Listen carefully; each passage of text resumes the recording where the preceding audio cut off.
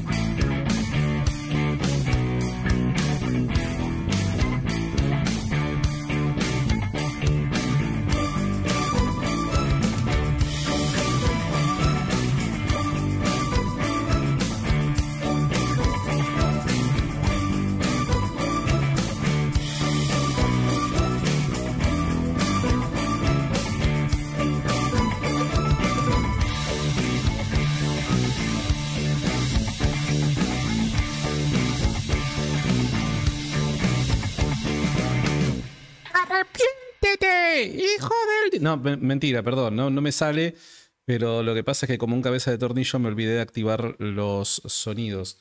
Así que si me dan un segundo no puedo arrancar sin este tornillo. Tornillo, sornido. Ahora sí. Ah, no. Pero como más cabeza de tornillo no había activado el volumen del escritorio. Ahora sí, vamos. ¡Arrepiéntete, hijo del diablo!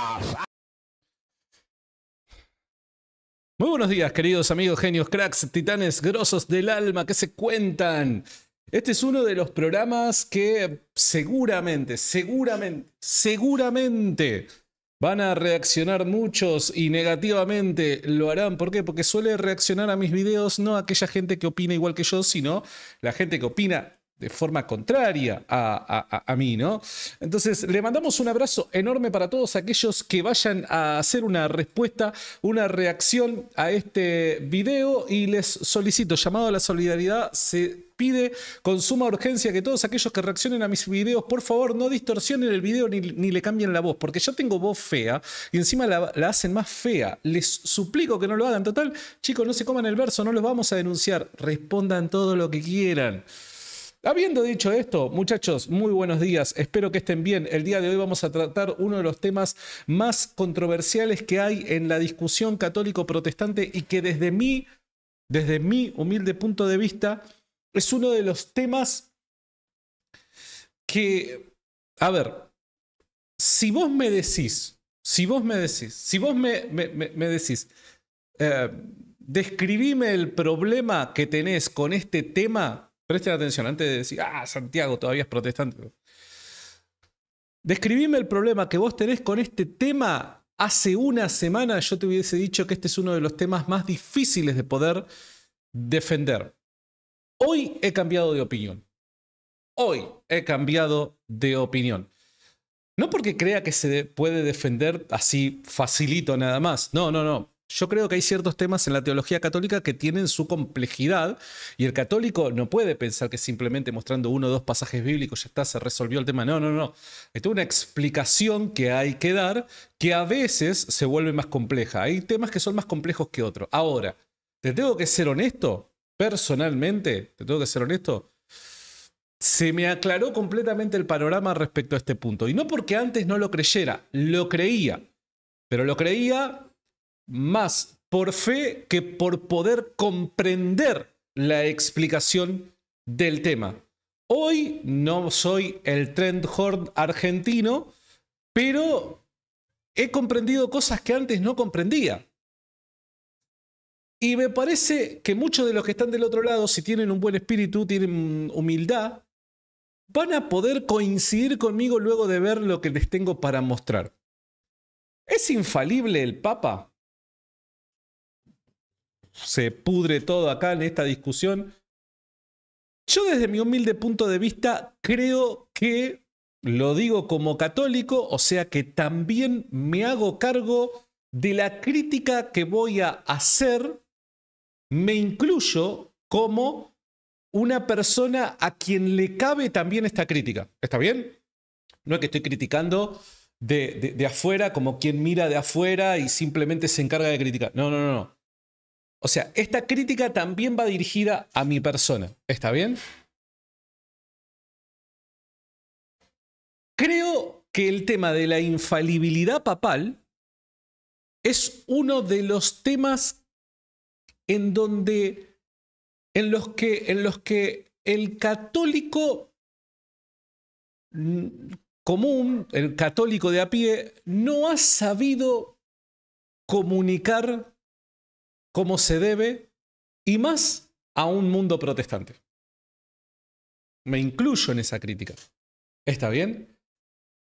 Creo que una de las razones por las que es tan difícil aceptar el dogma de la infalibilidad papal tiene que ver, es una de las razones, tiene que ver con que comúnmente no se encuentran católicos que lo expliquen lo suficientemente bien y sea satisfactorio para aquel honesto que demanda razones de la esperanza que hay en uno, ¿no?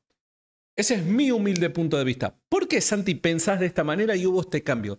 Vi un video, un video, vi un video Ah, yo pensé que habías leído un libro. No, ah, he leído respecto al tema de la infalibilidad, pero habían cosas que todavía digo, pero pará, no termino de entender cómo todo encaja con todo. Pero esto cambió. Porque vi un video, un video que llamativamente no tiene casi reproducciones, que hoy se los voy a mostrar porque no voy a ser yo quien lo va a explicar a esto. Simplemente vamos a reaccionar a algunos videos. ¿Está bien? Y va a ser una reacción más o menos porque yo ya lo vi. En esta oportunidad yo ya vi ese video. ¿Está bien? De mi amigo Hugo Delgado. Hugo Delgado yo creo que es una de las personas que gracias a Dios su canal ha repuntado a full. Pero yo creo que Hugo Delgado es una de las personas en habla hispana que mejor enseña la fe católica y es uno de los mejores apologetas católicos que hay, al menos en redes sociales en habla hispana. Esa es mi opinión y me hago cargo de lo que digo. Yo creo que quien mejor debate es Dante Urbina, por dar un ejemplo. Aunque mi amigo Rigo Ardon se le está acercando. Ojo. Ahora, como exponente de la fe, como una persona que se dedica a enseñar y a ofrecer en su enseñanza una defensa de la fe católica, yo creo que, al menos es un punto de vista, el mejor de las redes sociales en habla hispana es Hugo Delgado. Yo para mí, es Hugo Delgado. Por eso se tienen que suscribir al canal Osana in Excelsis, que si no lo conoces es el canal de Hugo Delgado. Y si no conoces a Hugo Delgado, vivís dentro de una bota térmica de esas que cuando hace frío te pones para caminar en el agua. Viste que por lo general está, no sé, con, feo olor, olor a transpiración y demás. Vivís ahí adentro si no lo conoces. Vamos a dejar el, enlace al canal de Hugo Delgado en eh, en el chat en vivo lo vamos a dejar fijado. Si hay alguno de los moderadores me puede ayudar mandándome el enlace y yo lo fijo ahí en, en el chat, sería buenísimo. Hoy vamos a reaccionar a uno de los videos de Hugo Delgado que desde mi humilde punto de vista y con todos los que he visto, yo hasta el momento creo que es el mejor. Pero llamativamente no tiene casi reproducciones. Es un video algo viejo. Y no tiene reproducciones casi. Tiene solamente 1200 reproducciones nada más. Y yo digo, ¿cómo puede ser esto? Esto es una injusticia. ¿Qué es lo que está pasando? Entonces, el día de hoy vamos a dejar que nuestro amigo Hugo Delgado, espero que Hugo no me denuncie el canal. No, Hugo es un amigo. Imagínate, ¿te imaginas Hugo Delgado denunciándome por reaccionar a uno de sus videos? No. Hugo Delgado es un amigo. Vamos a reaccionar a un, a un video. Pero vamos a arrancar de a poco. Vamos paso a paso. Vamos a ir arrancando de a poquito. Tenemos, ¿cuánta gente tenemos en el chat? Un poco más de 400 personas. Hoy, este, te soy honesto, no porque lo haga yo, de hecho, mucho aporte no voy a poder dar. ¿Está bien? Eh, simplemente este espacio y este stream va a ser utilizado con el objetivo de popularizar un video que tiene pocas reproducciones. Ese va a ser mi rol únicamente aquí. ¿Se entiende? Pero vamos a arrancar paso a paso. Vamos a ver de qué se trata el dogma de la infalibilidad papal. Gracias a Cielo, porque ahí nos, eh, nos compartió el enlace al canal de Hugo Delgado. Como podrán ver, en el comentario fijado del chat se encuentra el enlace a el canal Osana in Excelsis. Si no lo conoces, vas, le pegás una buena suscribida y te regresás acá. ¿Está bien? Y después yo te puedo asegurar, después contame, es buenísimo el canal. Arrancamos en 5, 4, 3, 2, 1. La infalibilidad papal. Primero vamos a preguntarnos qué es la infalibilidad papal. Vamos. Estamos en el canal Padre Pedro Núñez, que me parece que eh, es uno de los más conocidos, ¿no? Escuchen, presten atención. Le manda una pregunta una, una persona, un, un televidente, ¿está bien? Televidente católico. ¿Qué pasaría si se encuentra que el Papa, antes de haber sido elegido como tal, hubiera cometido algún error en su enseñanza de la, doctrina? ¿Eso no invalidaría su elección? ¿Cómo funciona eso de la infalibilidad papal? Teresa de Ecuador. Eh, Teresa, infalibilidad cuando es papa, pero no antes de ser papa. ¿Qué significa infalibilidad? Significa que el papa en cuestiones de fe, por ejemplo, eh, él eh, ex cátedra, es decir, desde la silla de Pedro con la autoridad de Pedro, él dice, vamos a suponer, y esta es una de las muchas eh, doctrinas de la iglesia que son dogmas, es decir, son doctrinas irreversibles, no se pueden cambiar porque esa es la voluntad de Dios, esa es la verdad de Dios. Y cuando el Papa dice, por ejemplo, en Jesús hay dos naturalezas, la divina y la humana. Es decir, esa es una doctrina irreversible, eso es un dogma y por lo tanto cuando... Fíjense qué interesante, no tiene nada que ver con el tema de la infalibilidad, ¿no? Pero el tema de los dogmas, fíjate qué importantes que son. Y hay algunos protestantes que reniegan del dogma, pero renegar del dogma lo que hace es abrir la puerta a un interminable debate de absolutamente todo lo referente a la fe cristiana. Cuando vos quitas el dogma de en medio y, rechazás la posibilidad del dogma, independientemente de qué dogma estemos hablando, todo debate está permitido. Todo tema aún sigue abierto. Por eso es que vos ves grupos protestantes que discuten aún hoy, siglo XXI, la naturaleza de Cristo. Aún hoy, siglo XXI, discuten temas de salvación. Aún hoy, siglo XXI, discuten, no sé, la Trinidad. Aún hoy, siglo XXI, discuten la Teotocos. Aún hoy, siglo XXI, discuten, discuten absolutamente todo. ¿Pero por qué? Porque rechazan los dogmas, están cerrados al dogma. ¿Por qué? Porque el dogma supuestamente, bueno, eh, es como que te priva de poder interpretar libremente la escritura, la palabra de Dios. Abrirle la puerta a esto es abrirle la puerta a todo tipo de debate que ya en el pasado cristiano se ha dado y ya se ha definido cierta postura como postura cristiana oficialmente hablando. Es un caos. Rechazar la posibilidad del dogma vuelve a los grupos cristianos un caos. El Papa dice eso, lo está diciendo el mismo Jesucristo a través del Papa. Por lo tanto, Jesucristo no puede decir mentira. El Espíritu Santo es el, que impulsa al Papa o al Papa con los demás obispos de la Iglesia para pronunciar esta doctrina de fe. Entonces, en cuestiones de fe y en cuestiones de moral, por ejemplo, cuestiones de moral, el Papa dice, el aborto es un pecado grave, porque estamos dando muerte a la vida de un ser humano y la vida le pertenece única y exclusivamente a Dios. El Papa está hablando en el nombre de Dios. Cuando el Papa habla, por ejemplo, y dice que el matrimonio es entre hombre y mujer exclusivamente, el Papa está hablando en el nombre del Señor y está siendo apoyado por la Santa Biblia. La Biblia apoya la doctrina de la iglesia, la doctrina de la iglesia apoya la Biblia, porque al fin y al cabo son como que dos alas de un Gracias, mismo pájaro. Entonces, el Papa y la Iglesia, los obispos, a través de las generaciones, lo que hacen es interpretar la palabra de Dios escrita. ¿Por qué? Porque la Iglesia es la única que tiene autoridad para hacerlo. Nadie más tiene autoridad para interpretar la Biblia. Dato de vital importancia para el desarrollo del tema. Esto creo que en varias oportunidades ya lo he mencionado, pero simplemente es un comentario que no pasa de moda, por eso lo reitero. Tanto para católicos que tengan problema a la hora de reflexionar respecto a este punto, entenderlo y explicarlo, como así también para protestantes honestos. 50 pesos mexicanos por Marco Hernández. Creo que los protestantes tienen dogmas como la sola escritura, aunque no la quieran llamar dogma porque sería muy católico. Es cierto, estoy completamente de acuerdo, Marquito, estoy completamente, pero fíjate, cómo para ellos es necesario calificar la sola escritura como dogma y aún así se resisten en llamarle dogma simplemente porque el término dogma es autoritativo, ¿no? Cierra la posibilidad del debate y cosas por el estilo. Bueno, te mando un abrazo, Marquito. La cuestión es la siguiente. Consejo tanto para católico como para protestante honesto.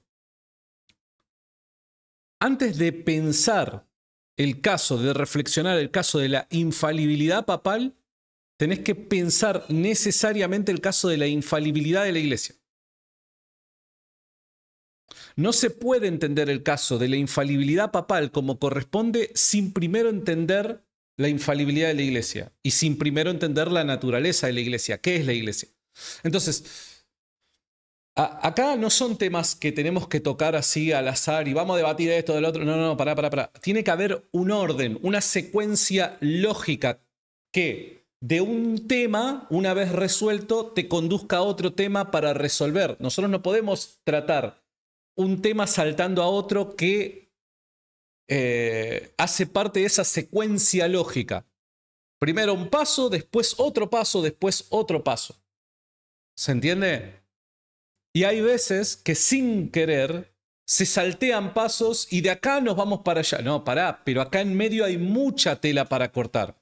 Y esto, lo de aquí en medio, fue justamente lo que nos llevó de este punto a este punto. Entonces, es de vital importancia entenderlo de esta manera. Es de vital importancia. Continuamos. Solamente aquella que le pertenece a la Biblia. Y la Biblia pertenece a la iglesia porque la iglesia fue la que compuso la Biblia. Es decir, ese es el diario de fe de la iglesia. Y solamente la iglesia tiene la autoridad para interpretarla. Y más aún tiene la autoridad porque es dada a la iglesia por el mismo Jesucristo. Quien promete estar con la iglesia hasta el fin de los tiempos. Y quien promete... ¿Ven?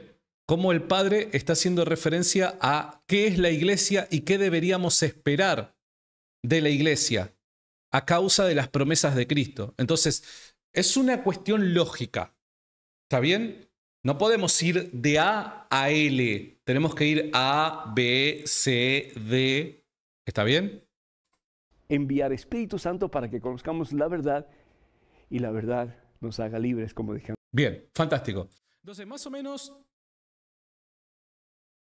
más, o menos creo que con esta introducción se ha entendido ¿De qué habla? Bueno, si, hay alguna duda más, eh, referirse al catecismo de la Iglesia Católica creo que es el mejor camino.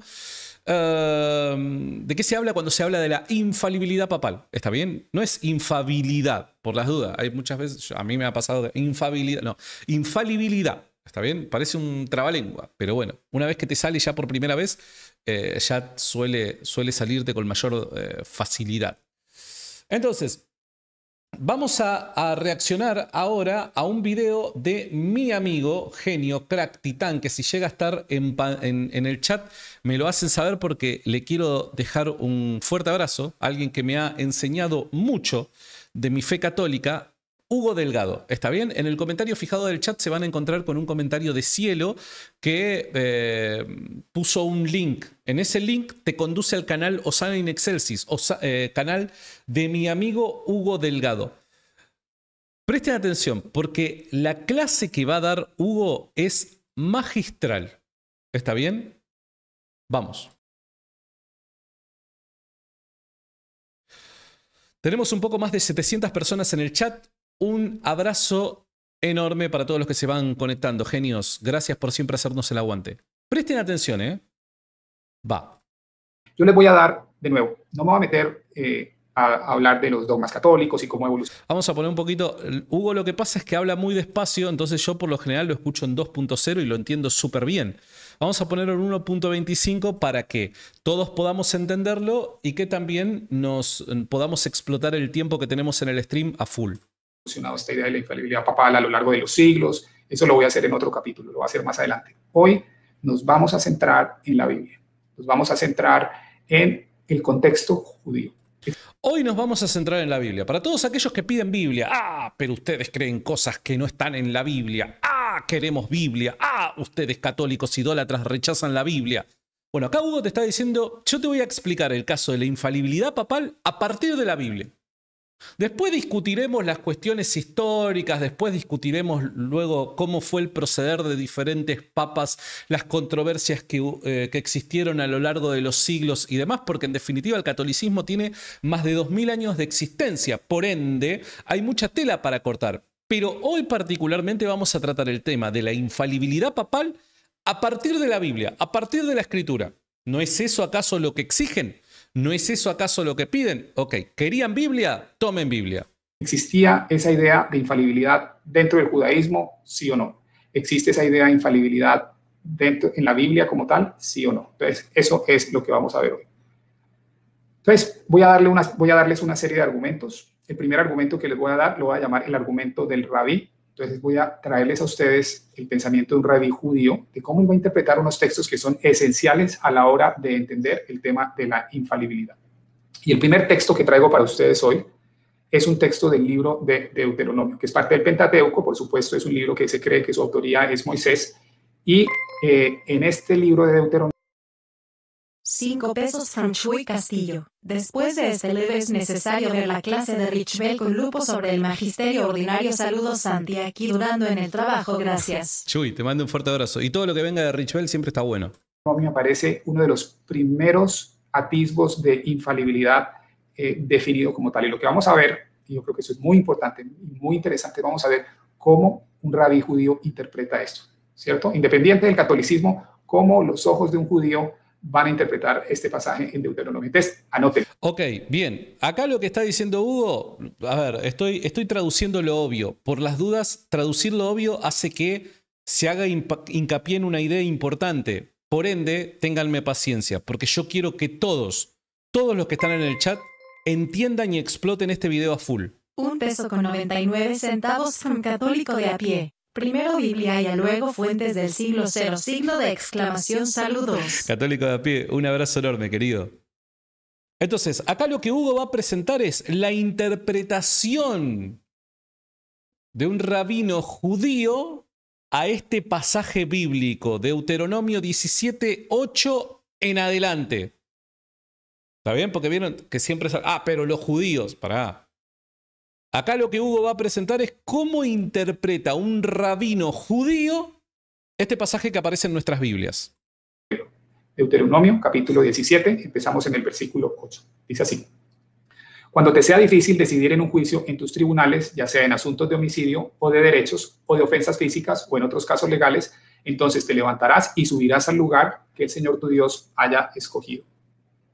Y aquí vamos a ver que hay un recurso a lo que se llama una Corte Suprema Levítica. Entendamos que el, los, el sacerdocio levita es, eh, digamos, el equivalente al, al, sacerdocio actual, ¿cierto? Es el, la, eh, una, un grupo escogido por Dios para llevar a cabo eh, las obras del templo, pero aquí también van a actuar como jueces. Entonces, miren lo, que, miren lo interesante. Dice así, irás a los sacerdotes levitas y al juez que haya en aquellos días y consultarás. Ellos te indicarán. Fíjate qué interesante lo que dice Raúl. Raúl calculo que debe ser evangélico, protestante. En el chat. Voy a retroceder un cachito el video para que se entienda bien la idea después cuando volvamos. Es necesario obedecer a Dios antes que a los hombres. Calculo que Raúl debe ser evangélico y entiendo que si es evangélico la intención de citar Hechos capítulo 5 verso 29 es eh, para mostrar que, bueno, hay que, eh, como que la opinión de los hombres es secundaria, ¿no? Si fuese así, la pregunta es, ¿qué pasa con los apóstoles? ¿Hay que obedecer a los apóstoles? ¿Hay que oír a los apóstoles, sí o no? Pero los apóstoles no son Dios. Si Raúl es católico, bueno, joya. Pero quiero hacer esta aclaración. Los apóstoles no son Dios, los apóstoles son hombres. ¿Se, entiende entonces? algunas veces se plantea una falsa dicotomía. O obedecemos a Dios o obedecemos a los hombres. No. Desde el plano bíblico novotestamentario, para aquellos que son legítimos ministros de su palabra, legítimos ministros de Cristo, Obedecer a estos hombres es obedecer a Dios. ¿Se entiende? Obedecer a los legítimos ministros de Cristo en la medida en la que reproducen obviamente las enseñanzas de Cristo, posterior ya a los apóstoles, porque sabemos y todos estamos de acuerdo que los apóstoles reprodujeron, interpretaron las enseñanzas de Cristo correctamente, pero en la medida en la que nosotros correspondemos con lo enseñado por estos hombres legítimos de Cristo, estamos obedeciendo a Dios. Eso es importante recalcarlo. Obra del templo, pero aquí también van a actuar como jueces. Entonces, miren lo, que, miren lo interesante. Dice así, irás a los sacerdotes levitas y al juez que haya en aquellos días y consultarás ellos te indicarán la sentencia del juicio. Es decir, cuando alguien tiene una pregunta, cuando alguien quiere ver un tema de, justicia, en cierto sentido, van donde quién?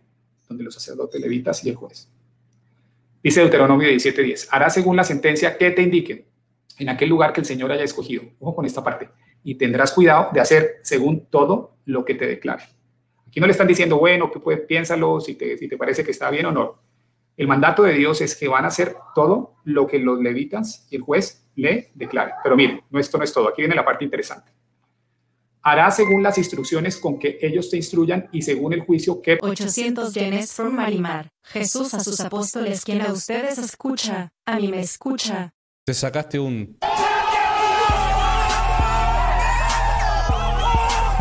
Te lo ganaste, Marimar, te lo ganaste, genial. Te mando un fuerte abrazo. Presten atención, porque este pasaje es clave.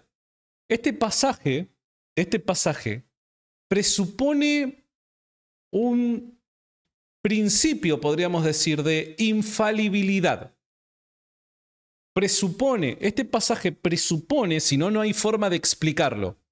El significado o la intención de este pasaje no se puede explicar sin presuponer un principio de infalibilidad. Presten atención, este pasaje es brillante. Lo que los levitas y el juez le declaren. Pero miren, esto no es todo, aquí viene la parte interesante. Hará según las instrucciones con que ellos te instruyan y según el juicio que pronuncien. No te apartarás de la sentencia que te indiquen ni a la derecha ni a la izquierda. No te apartarás de la sentencia que te indiquen. ¿Quiénes? Las autoridades legítimas del antiguo pacto porque estamos en un contexto de antiguo pacto. Entonces, aquí Dios está presuponiendo que Él va a obrar en las autoridades judías encargadas de la enseñanza, en un magisterio judío, Él se va a encargar de conducirlos hacia lo correcto a la hora de juzgar una cuestión respecto a la ley. Eso es lo que presupone aquí el pasaje. Eso presupone el pasaje. Harás según las instrucciones con que ellos te instruyan y según el juicio que pronuncien. No te apartarás de la sentencia que te indiquen, ni a la derecha ni a la izquierda.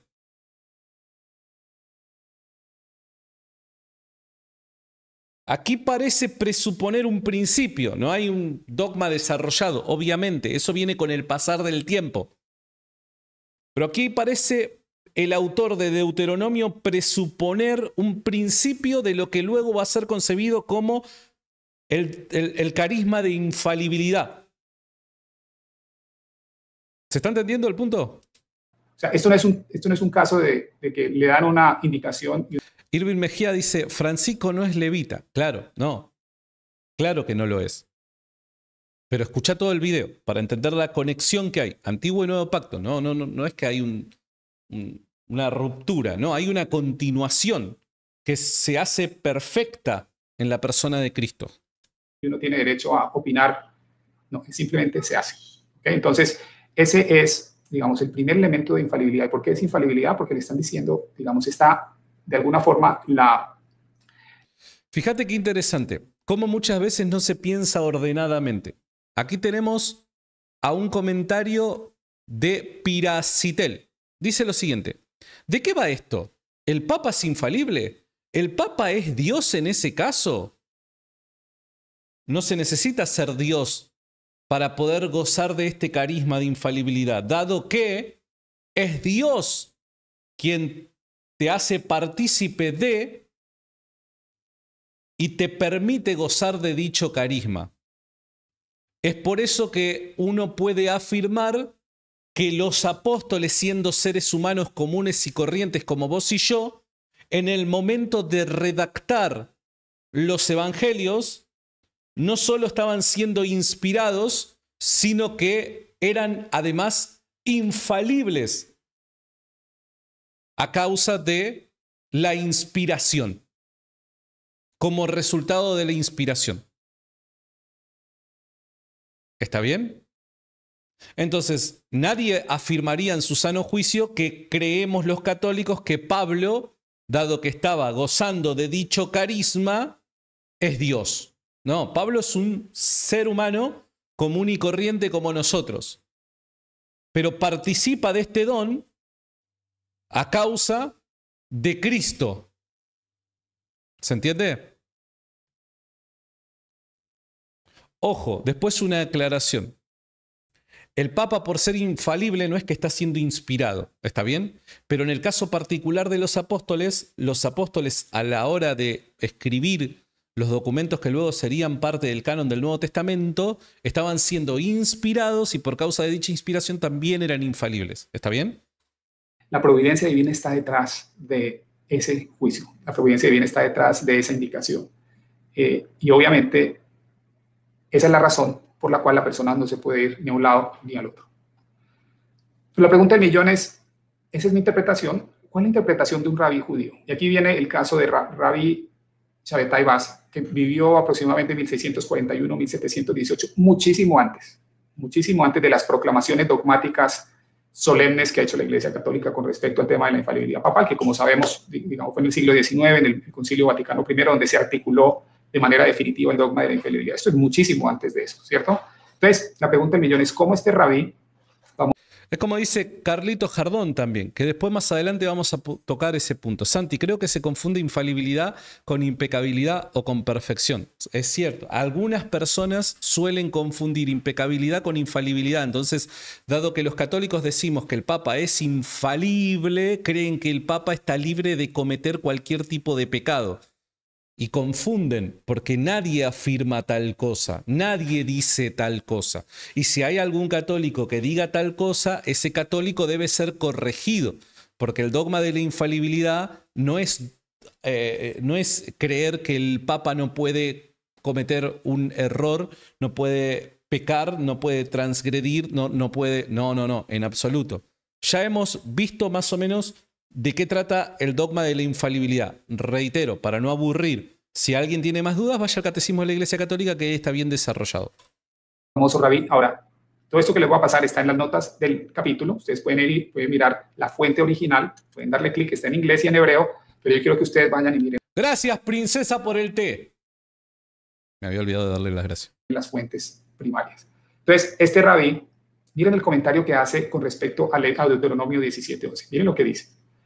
Incluso, dice, comentando este pasaje específicamente, dice así, incluso si él te dice que lo que consideras derecho es izquierdo, deberías escucharlo y culpar de su error, no a él, sino a quién, a ti mismo.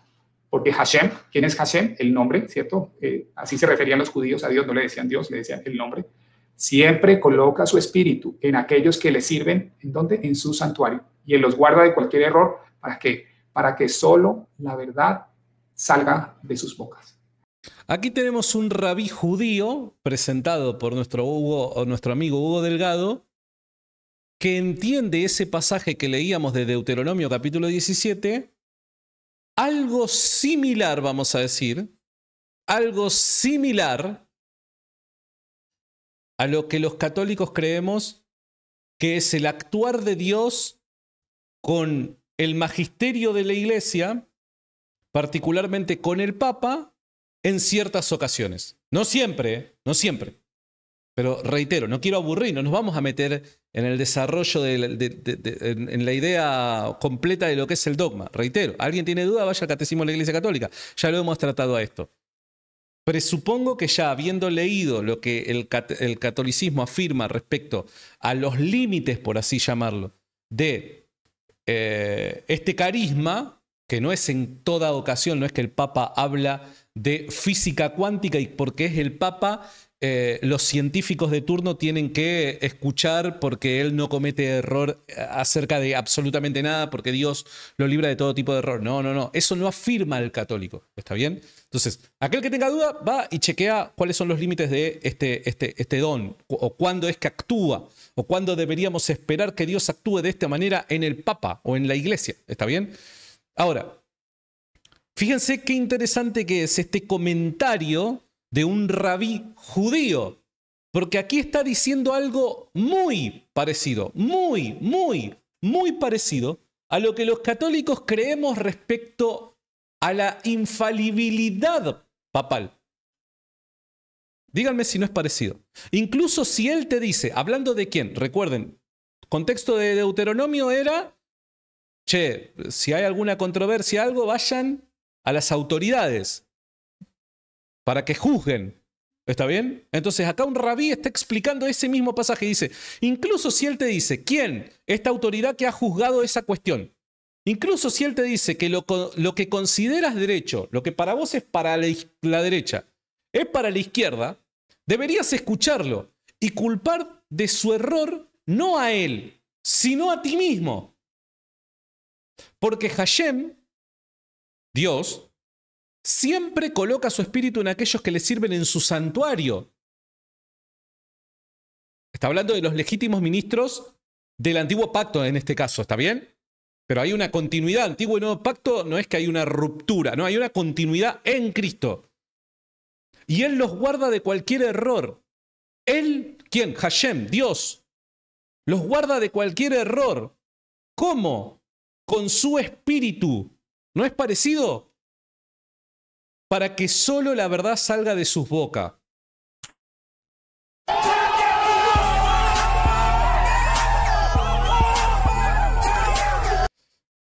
Ah, Santi, ¿qué? ¿Porque lo dice este rabí judío es verdad? No, no estoy diciendo eso. Ese no es mi argumento. Simplemente considero terriblemente llamativo que un rabí judío que no se suscribe a la fe católica interprete este pasaje de forma terriblemente similar a lo que lo hace, a, lo que, a la interpretación del católico respecto a su magisterio, a sus autoridades, particularmente al Papa.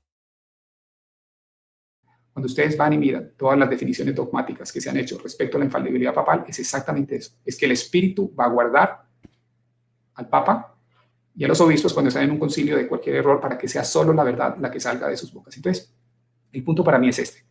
Esta idea de infalibilidad papal, esta semana tuve una, una persona, me hizo, una persona, un ortodoxo, me hizo, me, levantó la inquietud de dónde está el tema de la infalibilidad papal en los, en los padres de la iglesia, ¿cierto? Entonces, eh, yo le hice esta contrapregunta, le dije, no, no, no, no, antes de irnos a los padres de la iglesia, vámonos al judaísmo ni siquiera el Nuevo Testamento. Vámonos al Antiguo Testamento y veamos si ahí hay elementos o pruebas de esa idea de la infalibilidad. Y efectivamente, Deuteronomio es el mejor sitio para encontrar eso. Miren lo que dice el rabí. Dios lo guardará de cualquier error para que solo la verdad salga de sus... Perdón, perdón, perdón. Sepan disculpar. No saludé, ya tenemos más de mil personas en el chat. Un abrazo enorme para todos los que de forma ya cotidiana, ya es parte de sus rutinas el estar aquí en esta comunidad presente. Abrazo enorme y si sale todo bien, este, este live también lo voy a dejar posteado. De su boca. ¿De quién está hablando? De los sacerdotes levitas, ¿cierto? Y del juez, de los que manejaban eh, los temas espirituales y los temas civiles en este caso. Entonces, este es un fragmento muy importante. Quiero que lo tengan en cuenta porque va a ser casi que el fundamento del Antiguo Testamento, eh, donde encontramos por primera vez esta idea de infalibilidad. ¿A qué se refiere la infalibilidad? A la verdad, ¿cierto? A que no haya error, a que, un pronunciamiento no contenga error. Eh, y ese es exactamente lo que vemos allí. Ahora, ¿esto cómo se refleja? Mire, por ejemplo, la, imagen que ustedes ven allí es la imagen del, eh, Sanedrín, que era más o menos un consejo donde estaban, pues, de alguna forma todos los sabios, sacerdotes en Israel, y como nosotros sabemos, fue el Sanedrín el que eh, condenó a Jesús y a través de eso fue que Jesús obviamente fue crucificado. Entonces yo creo que ustedes recuerdan muy bien la historia de, o la, el personaje de Caifás, que era uno de los miembros del Sanedrín que crucificó a Dios. Entonces aquí vemos la imagen de Caifás, eh, como está en, el, en, la película de Mel Gibson. Eh, pues obviamente, por lo que nos damos cuenta, es una persona que, que actuó mal, ¿cierto? Actuó de forma que a través de sus acciones y de sus decisiones se crucificó al Hijo de Dios pero lo que yo quiero que ustedes vean es esto. Como acabamos de ver en Deuteronomio, nos está diciendo que ellos, los que están en la autoridad, los que han sido investidos de autoridad por parte de Dios, tienen el don, tienen la capacidad, independientemente de si sean buenos o malos, tienen la capacidad de hacer pronunciamientos que son ciertos. El Espíritu igual trabaja a través de ellos. Y miren que esto que les estoy diciendo está claramente en el Evangelio de Juan, si ustedes van al capítulo 11, versículos 47 y 49, miren lo que dice. Dice, entonces los principales sacerdotes y los fariseos reunieron el concilio. Nos referimos al, al, Sanedrín. Y dijeron, ¿qué haremos? Obviamente refiriéndose a Jesús, porque este hombre hace muchas señales. Entonces Caifás, uno de ellos, miren la palabra clave aquí, sumo sacerdote aquel año. sumo sacerdote, la autoridad máxima entre el grupo, entre la casta sacerdotal. Él dijo, vosotros no sabéis nada. Y sigue el apóstol Juan contándonos y explicando. Dice así, esto no lo dijo por sí mismo, sino que como era el sumo sacerdote aquel año, profetizó que Jesús había de morir por la nación y no solamente por la nación, sino también para congregar en uno a los hijos de Dios que estaban dispersos. Este es uno de los pasajes más llamativos que podemos encontrar, ¿no? Porque aquí el autor del Evangelio de Juan, el apóstol Juan, supone que es lógico pensar que pese a la oposición del sumo sacerdote a Cristo Dios encarnado, su legitimidad como ministro hace que sea esperable que profetice. Esto es terriblemente llamativo. Obviamente quisiéramos tener más información de la época al respecto para poder entender un poco más este punto. Pero aquí tenemos al apóstol Juan suponiendo que pese a que el sumo sacerdote se opone al Dios encarnado, es esperable que profetice porque era un legítimo ministro de ese pacto. Esto no lo dijo por sí mismo, lo reconoce el mismísimo Juan. Lo reconoce el mismísimo Juan. Aquí hay un escenario donde las autoridades de Israel están planificando asesinar al dador de la vida. Y mismo así Juan reconoce que eso que salió de la boca del principal artífice de todo esto, no lo dijo por sí mismo, sino que como era sumo sacerdote, por ende, un legítimo ministro de ese orden, de ese pacto, profetizó. Esto te vuela la cabeza, amigo. Esto te vuela la cabeza. ¿Por qué? Porque supone que Dios actúa de determinada manera a través de ciertas personas por causa de su oficio, pese a que esas personas puedan tener motivaciones que vayan en contra de la voluntad de Dios, y pese a que esas personas hasta puedan llegar a ser en un futuro condenadas por sus pecados, Dios, Dios respeta su autoridad. Y, y, y Dios actúa en pos de la autoridad que la persona tiene por causa de sí mismo, por causa de Dios mismo. Esto es una bomba, amigo. Esto es una bomba. Quiero que ustedes vean es esto. Independientemente del hecho de que Caifás falló, de que actuó con maldad, de que a través de, sus decisiones, acciones, eh, se crucificó al Hijo de Dios, en su rol estaba inspirado, fue capaz de profetizar la verdad de forma infalible. ¿Por qué? Porque ya nos damos cuenta de que Dios desde el Antiguo Testamento otorga ese poder de infalibilidad a las autoridades religiosas del momento, aquellos que están en alianza con Él. Entonces, este es un elemento muy importante de nuevo. Antes de empezar a hablar de infalibilidad dogmática desde el punto de vista católico, centrémonos en la Biblia. Lo que nos diga la Biblia, la Biblia nos va a mostrar de qué forma esta doctrina se puede articular. Entonces, ese es en el Evangelio de Juan.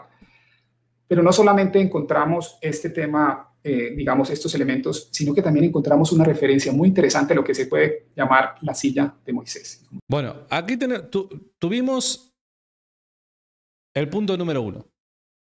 Punto número uno. Biblia.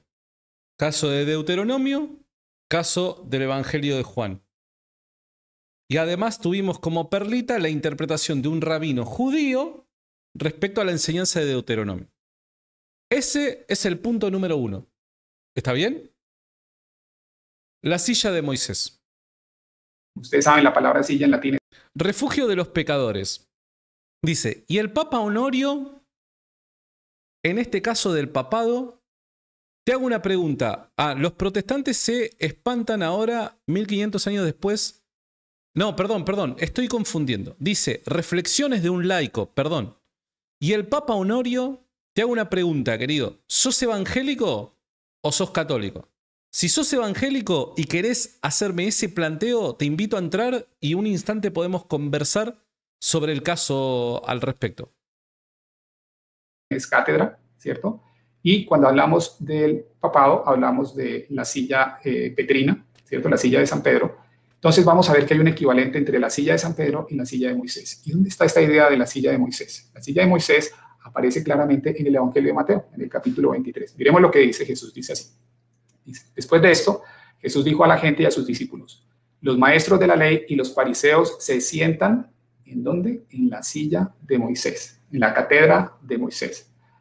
Miren esto, esto es más importante aún. Ustedes saben todo lo que Jesús lucha con los fariseos y con, eh, y con los escribas, eh, pero a pesar de eso, miren las palabras, dice, así que ustedes deben obedecerlo y hacer todo lo que les diga. Entonces, el punto aquí, luego dice Acá, acá donde está el caso de la cátedra de Moisés, me parece que este caso es clave. Es clave, amigo, es clave. Después de esto, Jesús dijo a la gente y a sus discípulos, los maestros de la ley y los fariseos se sientan en la cátedra de Moisés, en la silla de Moisés. Así que ustedes deben obedecerlos. Ustedes deben obedecerlos. Jesús está mandando a que el pueblo obedezca a las autoridades judías de turno y hacer todo lo que ellos digan. ¿Por qué, Señor, tenemos que obedecerlos y hacer todo lo que ellos digan? Porque ellos se sientan en la cátedra de Moisés, porque ellos se, sientan en la silla de Moisés. O sea que la silla de Moisés, la cátedra de Moisés, supone no solo autoridad, sino también asistencia divina. ¿Cómo lo sabes a esto, Santi? Bueno, aquí Hugo lo va a explicar. Me adelanto un instante a esta explicación magistral de Hugo. ¿Cuál es la razón entonces por la que Jesús los mandaría a obedecer y hacer lo que ellos digan? Si, si la cátedra de Moisés no supone asistencia divina por parte del Espíritu Santo a sus autoridades, Jesús estaría enviando a la gente a obedecer el error. Y dado que es Dios, no podemos esperar que Jesús mande al pueblo que vino a iluminar, que vino a enseñar, que vino a pastorear, a que obedezcan mandamientos erróneos. No. Jesús no le puede, por causa de su naturaleza como Dios, Jesús no puede mandar a obedecer el error. Jesús manda a obedecer y hacer lo que ellos les digan. ¿Por qué? Porque al parecer esto de estar en la cátedra de Moisés o estar en la silla de Moisés supone cierta asistencia divina. ¿Se entiende? Jesús, más no hagan lo que ellos hacen, pero hagan todo lo que les digan. Es decir, no los copien en su maldad, pero ellos tienen la autoridad.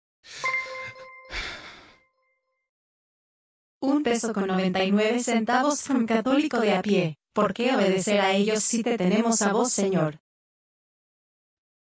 Ah, no, no, entendí, no entendí el planteo, católico. Te pido disculpas. Hagan todo lo que les digan. Es decir, no los copien en su maldad, pero ellos tienen la autoridad espiritual. Claro, no copien su maldad. No hagan como ellos hacen, pero hagan lo que ellos les digan. Ellos tienen la autoridad. Y aquí viene un punto muy importante que yo quiero que ustedes piensen.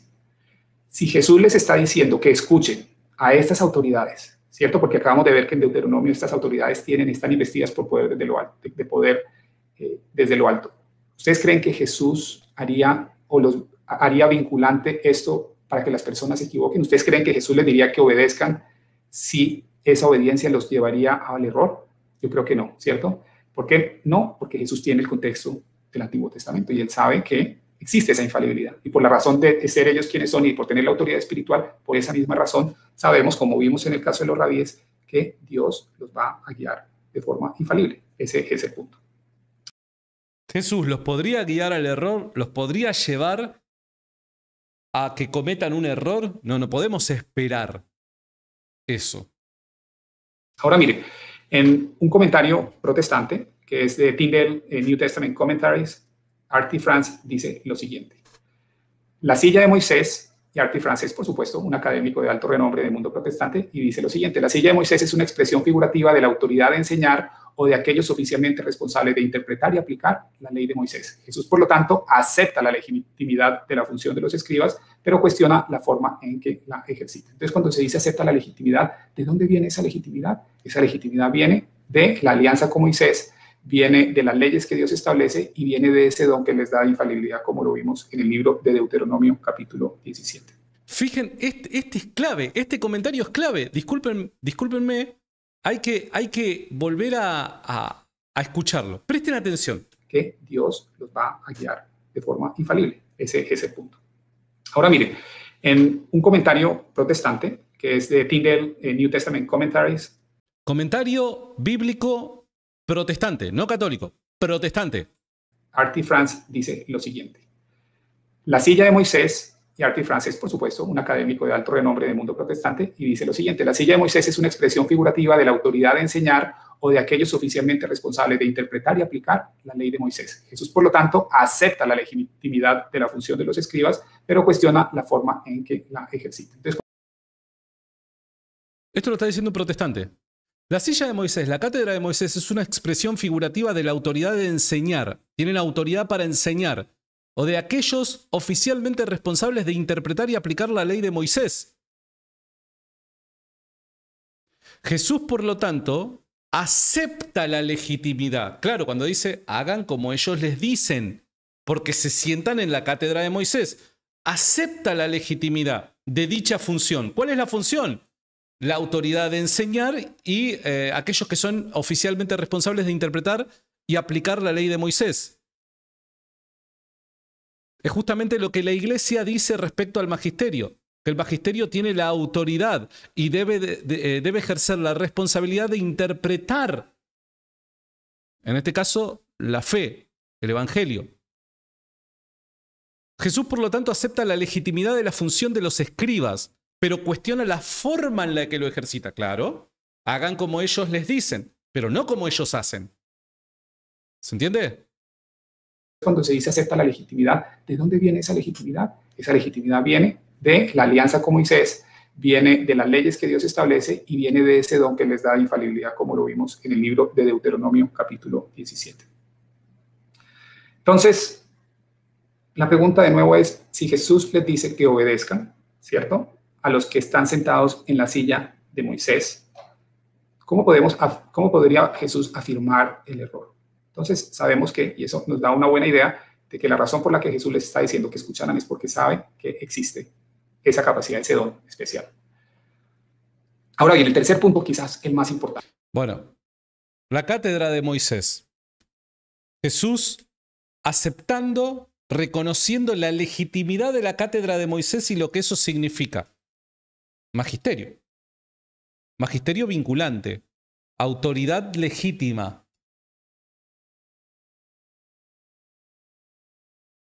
Suena muy católico eso, ¿no?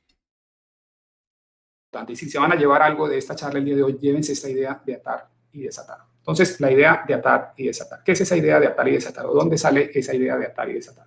Sale específicamente de algunos fragmentos muy importantes donde se habla de la autoridad que Dios, que Jesús le otorga a su iglesia. Especialmente Mateo 16, 19, que como ustedes saben, es uno de los textos claves para entender este tema de la infalibilidad y el tema del papado. Pero me voy a centrar específicamente en Mateo 16, 19 dice así.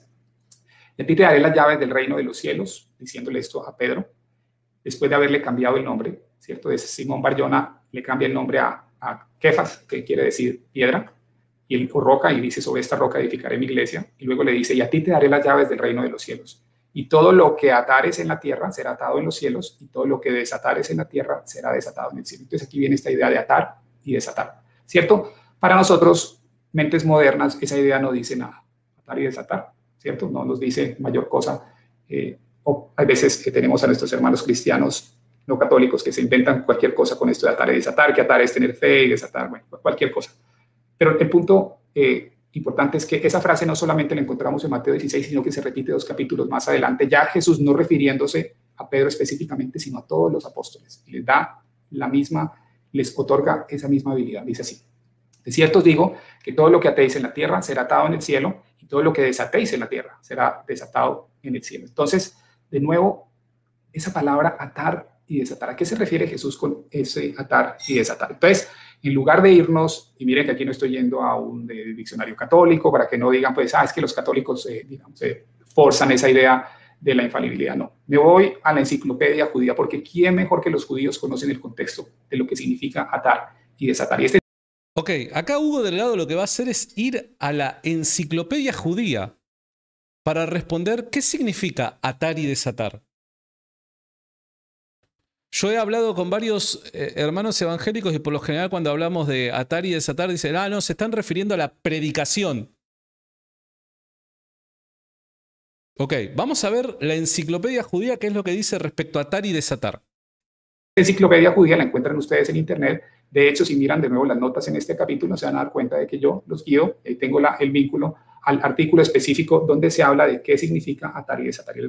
Y en este video, Hugo Delgado nos va a dirigir aquí, la enciclopedia judía. Ahora lo vamos a leer un poco.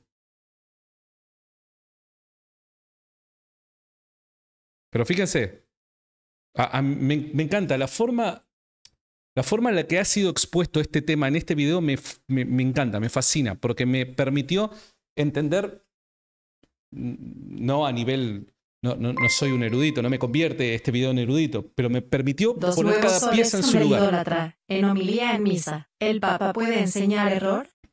Ah, bueno, ahí ya no, no, no, lo, no, lo, no lo tengo estudiado. 2.500 colones costarricenses from María Jiménez. Si el Papa no fuera infalible en temas de fe y moral, estaríamos dudando del paráclito que Cristo envió para guiar a su iglesia. Ahí donde está el tema, claro. Ahí es donde está el tema. Recordemos de que el don de la infalibilidad papal eh, eh, debe contar con ciertos criterios para que el católico entienda de que, que, de que, de que, de que Dios está asistiendo de esta forma al Papa. Recordemos eso, ¿está bien? Hay ciertos criterios que deben cumplirse para que el Papa sea asistido por el Espíritu Santo y eh, lo haga partícipe de este don de la infalibilidad. No es en cualquier tipo de circunstancia. ¿Está bien? Ah, ahora, este me parece que es el punto clave, el que decía Mari. Es un tema. ¿Cómo decirlo? El tema de la infalibilidad papal no es que, bueno, aparece el tema de la nada y lo discutimos. No, no, no. El tema de la infalibilidad papal termina siendo la consecuencia lógica y bíblica de lo que esperamos que sea el obrar del Espíritu Santo en su iglesia. Por ende, nosotros no podemos ir al tema de la infalibilidad papal salteando el tema de la iglesia y el actuar de Dios en la iglesia a causa de sus promesas. Porque ahí también, sin querer, algunos, al negar la infalibilidad papal o negar la infalibilidad de la iglesia, están implícitamente haciendo una afirmación respecto al obrar del Espíritu Santo en su iglesia. Pensar que la iglesia no puede ser infalible es afirmar de forma implícita que el Espíritu Santo no asiste a la iglesia para que no caiga en el error. Entonces estamos haciendo afirmaciones respecto al obrar o no obrar del Espíritu Santo, cosa que más adelante lo va a decir Hugo. ¿Está bien? ¿Se está, ¿se está entendiendo? Lo que nos dicen los judíos sobre esta idea de atar y desatar. Dice así, dice que es un término rabínico para prohibir y permitir. Este poder fue siempre afirmado por los fariseos. Dice además. Preste atención, la enciclopedia judía va a explicar qué es atar y desatar. Término rabínico para prohibir y permitir. Atar y desatar. Enciclopedia judía, prohibir y permitir. Este poder fue siempre afirmado por los fariseos. Prohibir y permitir. Este poder fue siempre afirmado por los fariseos. Dice además, no quiere decir que como hombres sabios, los fariseos solamente decidían que, de acuerdo a la ley, era prohibido o permitido. O sea, no es solamente opinar, sino que ellos poseían y ejercitaban el poder de atar y desatar una cosa por el encanto de la divina autoridad. Esa palabra encanto es como un encantamiento, es como un don, es como un carisma que ellos tenían especialmente, que venía de dónde? De la autoridad divina. Por el obrar de Dios a través de ellos. ¿Se entiende? Tal como podían, por el poder vestido en ellos, pronunciar o revocar una anatema sobre una persona. Eso es Esto es algo que está diciendo la enciclopedia judía, no lo está diciendo el Papa Francisco sobre sí mismo. Lo está diciendo la enciclopedia judía. Que eso significa atar y desatar.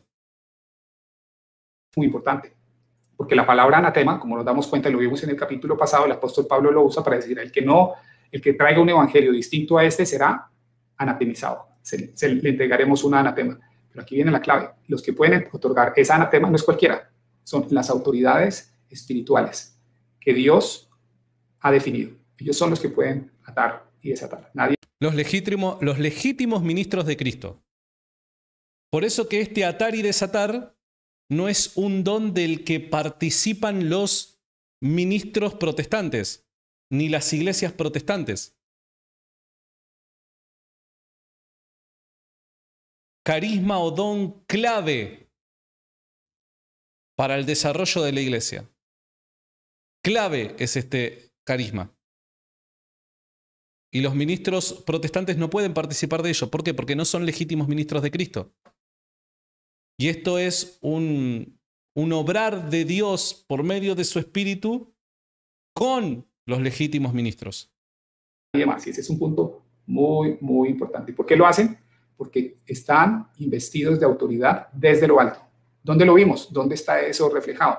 Está en el Antiguo Testamento, Deuteronomio 17, que fue lo que les mostré inicialmente. Entonces, aquí se van dando cuenta ustedes de la tremenda Yo lo único que les voy a pedir, chicos, aquellos que vienen a preguntarme sobre el contenido de José Plasencia y hacen afirmaciones de José, yo lo único que les voy a pedir es, chicos, acá, primero, número uno, porque lamentablemente existe ese morbo de que un- una persona hable de la otra, cuestione a la otra y critique a la otra dentro de la misma iglesia.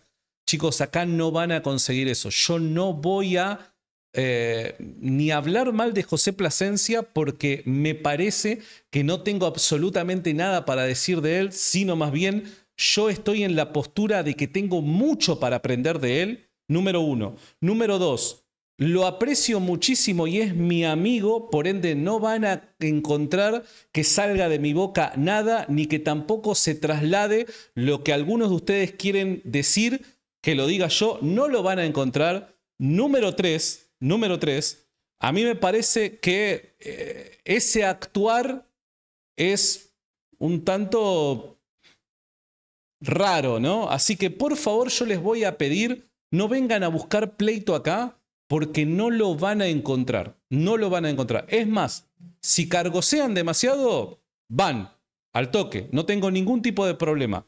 ¿Está bien? Con todo respeto, espero que no se enoje nadie y les mando un abrazo a todos. Relación que hay o correlación que hay entre el Antiguo Testamento y el Nuevo Testamento. ¿Por qué? Porque Jesús era un buen judío, porque Jesús era un judío que conocía las escrituras y respetaba las escrituras. Entonces Jesús dijo, no he venido para abolir la ley, sino que he venido para cumplirla. De hecho, está José acá en el chat. Abrazo, José. Te quiero mucho, amigo. Te quiero mucho. Te mando un fuerte abrazo. Aprendemos mucho de vos, querido. De verdad, de corazón. Y todos esos que andan buscando controversia, acá en este espacio no la van a encontrar, querido. ¿cierto? Entonces, tal como la ley, la Torah, explica que ese poder es investido a los levitas, es exactamente lo que vemos eh, en el caso de atar y desatar. Y recuerden que esta palabra, es, este es el don que Jesús le está dando a quién? A la cabeza de su iglesia, a la roca, que es nada más y nada menos que el apóstol Pedro. Sigue la enciclopedia diciendo, este poder y autoridad investido en el cuerpo rabínico de cada era o en el Sanedrín recibía su ratificación y sanción final de parte de quién? De parte de la Corte de Justicia Humana, no, de parte de la Corte de Justicia Celestial. Esta era la creencia de los judíos. Entonces, esto es muy importante porque muchas veces cuando nos quieren interpretar este pasaje de forma distinta, eh, algunos... Perdón, me, me, me colgué. Me colgué porque me hicieron, me hicieron salir de la concentración de la línea a la que, a la que nos veníamos moviendo. Gracias, Marquito Antonio, por el superchat, querido. Te mando un fuerte abrazo. Que ese poder es investido a los levitas es exactamente lo que vemos eh, en el caso de atar y desatar. Y recuerden que esta palabra, es este es el don que Jesús le está dando a quién? A la cabeza de su iglesia, a la roca, que es nada más y nada menos que el apóstol Pedro. Sigue la enciclopedia diciendo, este poder y autoridad investido en el cuerpo rabínico de cada era o en el Sanedrín recibía su ratificación y sanción final ¿De parte de quién? ¿De parte de la Corte de Justicia Humana? No, de parte de la Corte de Justicia Celestial. Este poder y autoridad investido en el cuerpo rabínico de cada era o en el Sanedrín recibía su ratificación y sanción final de parte de la Corte Celestial. Todo lo que ates en la tierra será atado en los cielos. Eso es una ratificación y sanción final de parte de la Corte de Justicia Celestial. Ah, no, pero ustedes católicos se lo inventaron con el pasar del tiempo simplemente para, para subyugar a los pobres católicos a que, no, a que no piensen por sí mismos y no se rebelen contra la autoridad del Papa. No, muchachos. Ven que aquí hay una continuidad, hay una continuidad en la fe, donde obviamente no quiere decir que en el mundo judío del antiguo pacto hay un equivalente a, no, porque en Cristo encontramos la perfección y la revelación transmitida en su punto más alto. Encontramos a partir de los apóstoles, a través de los apóstoles y de la asistencia del Espíritu Santo en la iglesia, encontramos la explicación de todas esas cosas en mayor profundidad, aquellas cosas que son parte de nuestra fe. Por ende, no vamos a encontrar un equivalente en el antiguo pacto. Pero vamos a encontrar grandes similitudes y estas similitudes te permiten a vos entender que de antiguo pacto, del antiguo pacto al nuevo pacto hay una continuidad histórica y teológica que se perfecciona en la persona de Cristo y que es explicado y predicado por las autoridades de la iglesia. Y así a lo largo de todos los tiempos ha sido creído en la iglesia. ¿Se está entendiendo? Esta era la creencia de los judíos.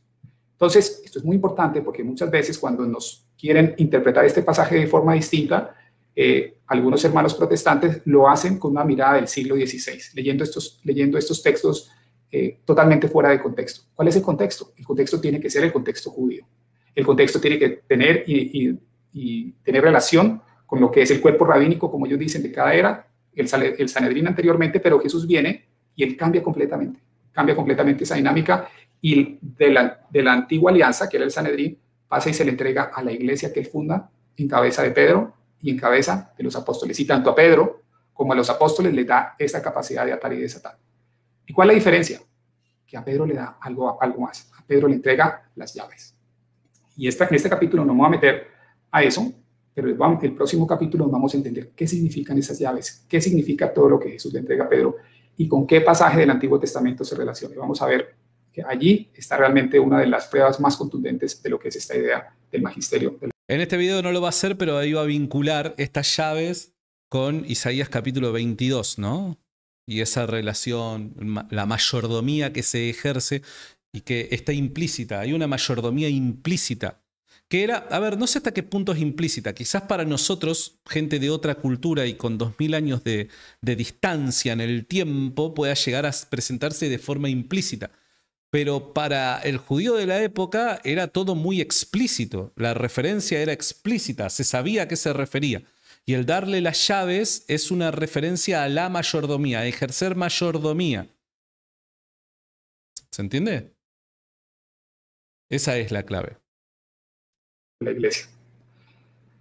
Dice finalmente en la enciclopedia, en este sentido, Jesús, cuando escogió a sus discípulos para ser sus sucesores, usó la fórmula familiar, la que acabamos de ver en Mateo 16, 19 y Mateo 18, 18, de darles el poder de atar y desatar. Miren lo que dice la enciclopedia judía. De nuevo, esto no es católico, estos son los judíos. Por medio de estas palabras, Él virtualmente los invistió con la misma autoridad con la que Él encontró le pertenecía a los escribas y fariseos, los cuales, como dice Mateo 23, 2, 4, atan cargas pesadas y difíciles de llevar y las ponen sobre los hombros de los hombres, pero ellos ni con un dedo quieren moverlas. Es decir, los fariseos tenían la capacidad de atar y de desatar. Fíjense lo que dice este texto de la enciclopedia judía. Es brillante, amigo. En este sentido, Jesús lo está diciendo la enciclopedia judía, no lo está diciendo un documento escrito por el Papa de turno. En este sentido, Jesús, cuando escogió sus discípulos para ser sus sucesores, hasta el judío lo entiende.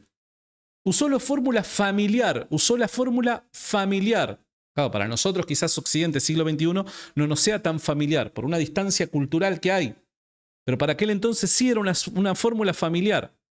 Por medio de estas palabras, Él, ¿quién? Jesús, virtualmente los invistió con la misma autoridad con la que, con la que Él encontró perdón, lo voy a volver a leer porque lo leí horrible.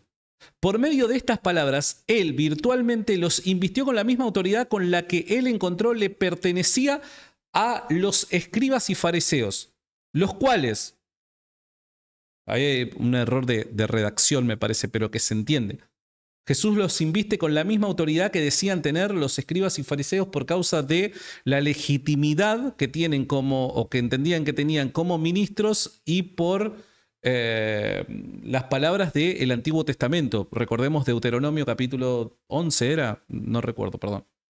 Atan, pesadas, cargas pesadas y difíciles de llevar y las ponen sobre los hombros de los hombres, pero ellos ni con un dedo quieren moverlas, es decir, desatarlas, tal como ellos tienen el poder de hacer.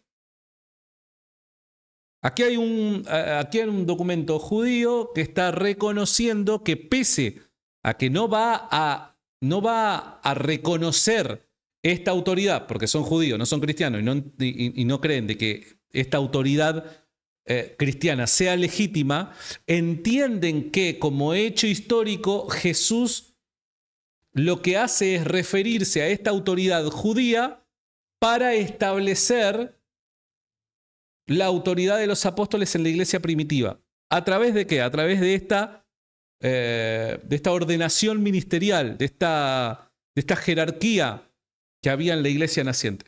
Es lo mismo. Y acá lo está diciendo un judío. Jesús los criticaba porque decía que eh, estaban actuando de forma eh, equivocada, pero sabía que ellos tenían esa capacidad de atar y desatar, tal como ellos tienen poder de hacer. Entonces, esta es la transmisión de poder que hay del Antiguo Testamento al Nuevo Testamento, de la Antigua Alianza a la Nueva Alianza. Entonces, fundamental para ustedes hoy, que se vayan con el entendimiento de lo que significa atar y desatar. Y acá este es el artículo que nos presentaba Huguito, Hugo Delgado.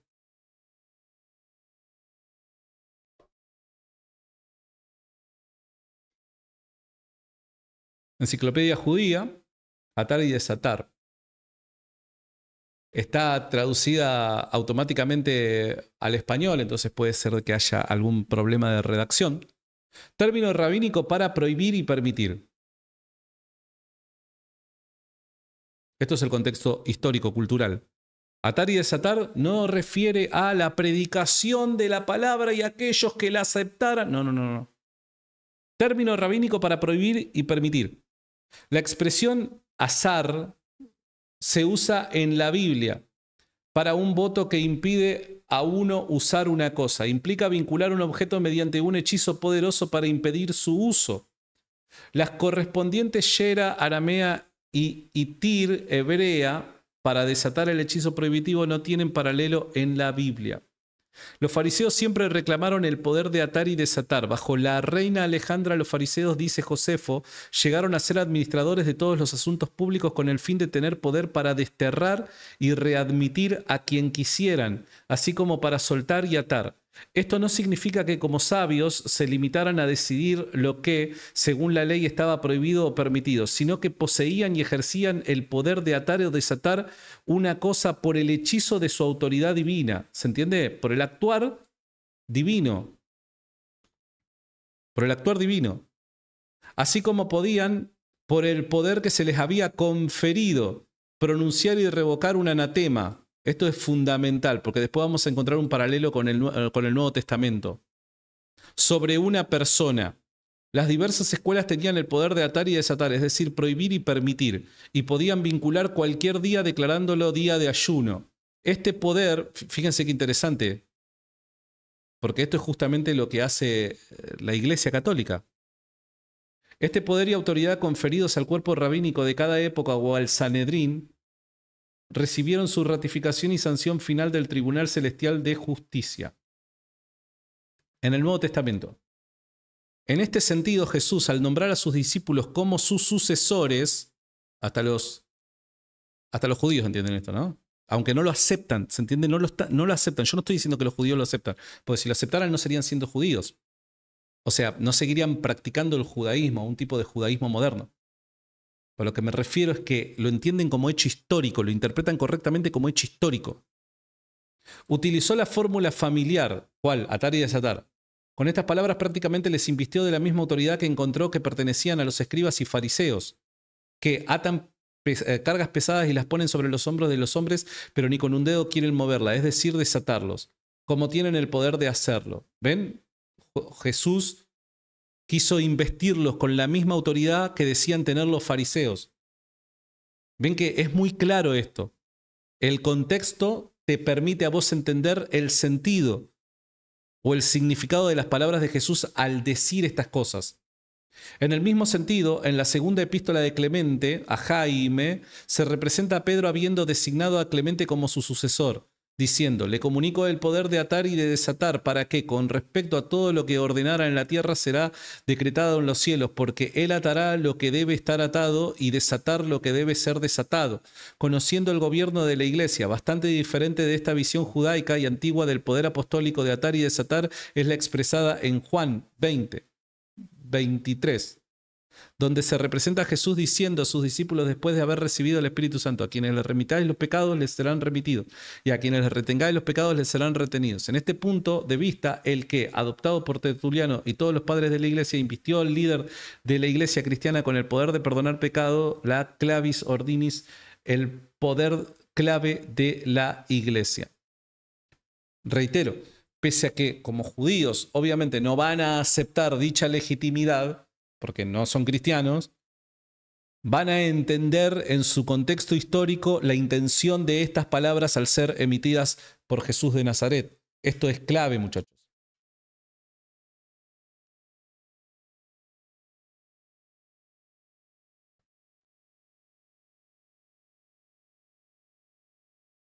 Claro, es como dice Will. No lo expliqué eso porque me pareció obvio, pero hay veces que hay que explicarlo obvio. Tiene razón Will. Santi, hay que tener en cuenta que el término hechizo no significa lo mismo en ese contexto antiguo que hoy, con base en la brujería. Claro, no, están hablando de brujería. Los fariseos, imagínate que no tienen un perfil muy de aceptar la brujería, ¿no? Considerar la brujería como, como de alguna manera algo que esté en armonía con las enseñanzas de Hashem, dirían los, los judíos, ¿no?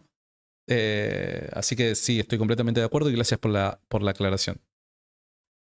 Y que cuando vengan a darles ideas de lo que es atar y desatar, de lo que alguien cree 20 siglos después o 16 siglos después, por favor, díganle que vamos al contexto, porque la Biblia tiene que ser interpretada en su contexto. Y el contexto, de nuevo, es un contexto judío del primer siglo, mm. pero que está relacionado con toda esa corriente de judaísmo que viene del Antiguo Testamento. Entonces, ese es el punto importante eh, quiero que hoy memoricen, pero no son los únicos argumentos. Por ejemplo, vamos a ver otro argumento, es el argumento que llamo en la tierra como en el cielo. Yo quiero que ustedes vean esta relación tan interesante. Además, acá hay, un punto que es vital, que creo que Hugo no lo va a decir más, más adelante. Por las dudas, capaz que es un spoiler.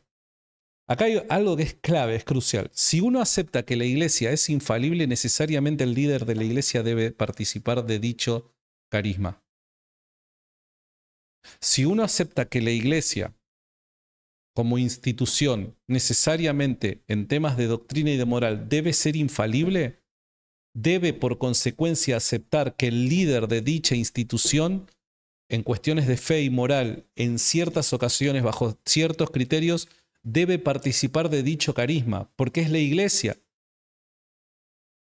Infalible, iglesia que es pastoreada por este líder si el Papa es el legítimo líder de la Iglesia, mayordomo de Jesucristo, encargado, encargado de pastorear a la grey de Dios, necesariamente el Papa como líder de la Iglesia debe participar de este carisma del cual la Iglesia participa. Es, es lógico, es natural, es una consecuencia. Cuatro pesos con 99 centavos Famavepina. Educativo, ameno y respetuoso. Estos espaciosos llenan mi vida del amor de Dios. Gracias, Santi. Te mando un fuerte abrazo. Gracias por el superchat. Interesante. Cuando Jesús está enseñando el Padre Nuestro en el Sermón de la Montaña, Mateo 6:10 dice, Padre, venga tu reino, hágase tu voluntad como en el cielo, así también en la tierra.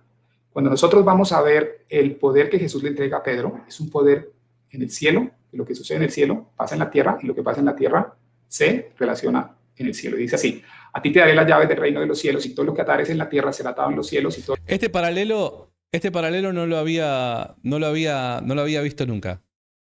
Venga tu reino, venga tu reino. Fíjense que el catolicismo, la Iglesia Católica va a afirmar que la Iglesia Católica es el reino de Dios. Venga tu reino, hágase tu voluntad como en el cielo, así también en la tierra. Esta relación, vínculo, orden, armonía que hay en el cielo y la tierra se ve manifiesto a través de esta autoridad y poder que Cristo le da a sus legítimas autoridades y a quienes le sucedan. Lo que ates en la tierra será atado en los cielos. ¿Ven? Que hay esta relación, este vínculo. Esto yo no lo había visto, lo descubrí aquí con, con Hugo. Es maravilloso eso. En la tierra. Cuando nosotros vamos a ver el poder que Jesús le entrega a Pedro, es un poder en el cielo, y lo que sucede en el cielo pasa en la tierra, y lo que pasa en la tierra se relaciona en el cielo. Dice así, Muy bueno. a ti te daré las llaves del reino de los cielos, y todo lo que atares en la tierra será atado en los cielos, y todo lo que desatares en la, cier- en la tierra será desatado en los cielos. Entonces se dan cuenta de esa correspondencia entre cielo Hágase tu voluntad en el cielo, eh, en, en- en la tierra como en el cielo. Hágase tu voluntad en la tierra como en el cielo. Aquí está. ¿Y cómo se hace su voluntad? Cristo lleva a cabo su voluntad a través del gobierno legítimo de la iglesia, guiado por el Espíritu Santo. Por eso es que si querés que se lleve a cabo, eh, si, si querés que se haga la voluntad de Dios en la tierra como en el cielo, debes orar por las autoridades de la iglesia. Es un bombazo eso, amigo. Es un bombazo. Al menos para mí. Yo no, no había entendido esta relación en estos pasajes, amigo. y tierra, y de esa relación tan profunda con lo que es la voluntad del Padre. Por eso es tan grave el pecado de cisma. Por eso es tan grave. Es una bomba, amigo. para que en el cielo se haga también como es en la tierra. No sé si ustedes habían visto esa relación, a mí me parece Yo muy no. poderosa, la vemos Es de nuevo en Mateo es 18, muy 15, buena. 18. Pero aquí vamos a ver algo adicional muy importante. Y por eso prefiero irme un poquito más atrás y leerles el pasaje completo. Dice Jesús, por tanto, si tu hermano peca contra ti, ve y repréndele, estando tú y él solos. Si te oyere, has ganado a tu hermano. Mas si no te oyere, toma un contigo a uno o dos, para que en boca de dos o tres testigos conste toda palabra. Si no los oyere a ellos, dilo a quién? A la iglesia. Son las palabras de Jesús. Y si no oyere a quién? A la iglesia, tenle por gentil y publicano. Entonces, paremos ahí un segundo. Lo que está diciendo Jesús es, esta es la forma de nosotros, cristianos, resolver nuestras diferencias. Primero vamos donde el hermano, si él no nos, eh, si él no nos escucha, entonces traemos dos testigos, si no nos escucha, entonces, ¿dónde lo llevamos el problema? A la iglesia. Y si él no escucha a la iglesia, entonces él, ¿qué es lo que sucede? Es sacado del cuerpo de Dios. Está clarísimo allí porque dice, tenle por gentil y publicano. Entonces, aquí viene el punto importante. Si yo soy protestante, esto que está diciendo Jesús es imposible de practicar.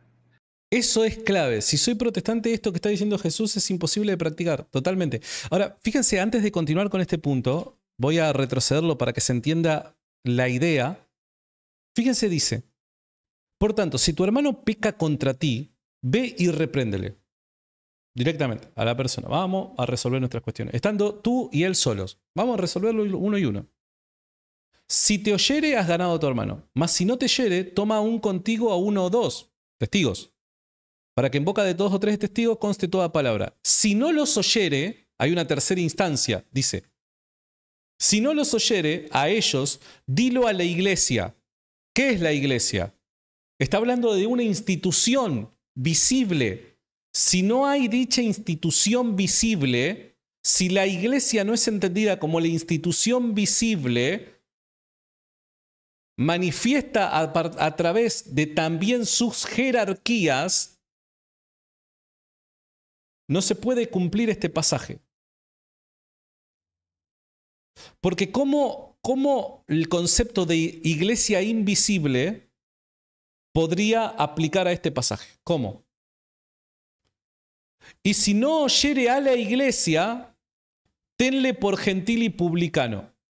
Fíjense qué interesante que es esto, esas últimas palabras.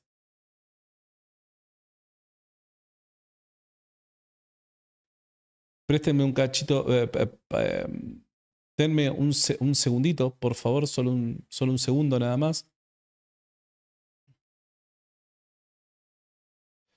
Fíjense lo siguiente. Dice, a partir de acá, esto no significa como sabios que se limitaran a decidir lo que según la ley estaba prohibido o permitido, sino que poseían y ejercían el poder de atar o desatar una cosa por el hechizo de su, de su autoridad divina, o sea, por el obrar de Dios. Así como podían, por el poder que se les había conferido, pronunciar y revocar un anatema sobre una persona. ¿No es equivalente a lo que está diciendo acá? Si no los oyere a ellos, dilo a la iglesia, y si no oyere a la iglesia, tenle por gentil y publicano. Pronunciar y revocar un anatema sobre una persona. Reitero, no es equivalente, pero parece que corresponde con el mismo espíritu de la idea. ¿Se entiende la similitud que hay aquí?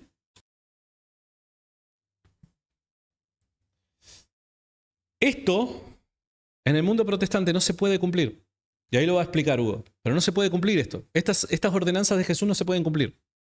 Está clarísimo allí porque dice, tenle por gentil y publicano. Entonces, aquí viene el punto importante. Si yo soy protestante, esto que está diciendo Jesús es imposible de practicar. Porque si yo soy protestante y tengo un problema en mi iglesia, ¿qué es lo que yo hago? Me voy a otra iglesia, ¿cierto? Eh, y si en esa iglesia tengo otro problema con un hermano, entonces, ¿qué hago? Me voy a otra iglesia. Y así sucesivamente. Entonces... ¿Sabe la cantidad de casos que hay así?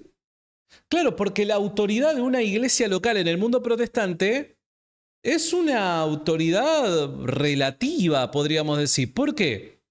Porque número uno, no necesariamente todos los que forman parte de esa iglesia local sienten que necesariamente las autoridades pueden llegar a ejercer autoridad en cualquier tipo de circunstancias y ellos deban de sujetarse a dicha autoridad. Pero por otro lado, las autoridades de la iglesia local no tienen ningún tipo, no ejercen ningún tipo de autoridad en la iglesia de la esquina de la casa. O sea, si a mí me, si, a mí, no sé, por, dar un ejemplo, me reprenden en la iglesia del pastor Pepe, me puedo caminar una cuadra más y me voy a la iglesia del pastor Cacho y va a estar todo bien. 20 pesos mexicanos con Luisa Ángeles. Dubias igual corregir con calidad.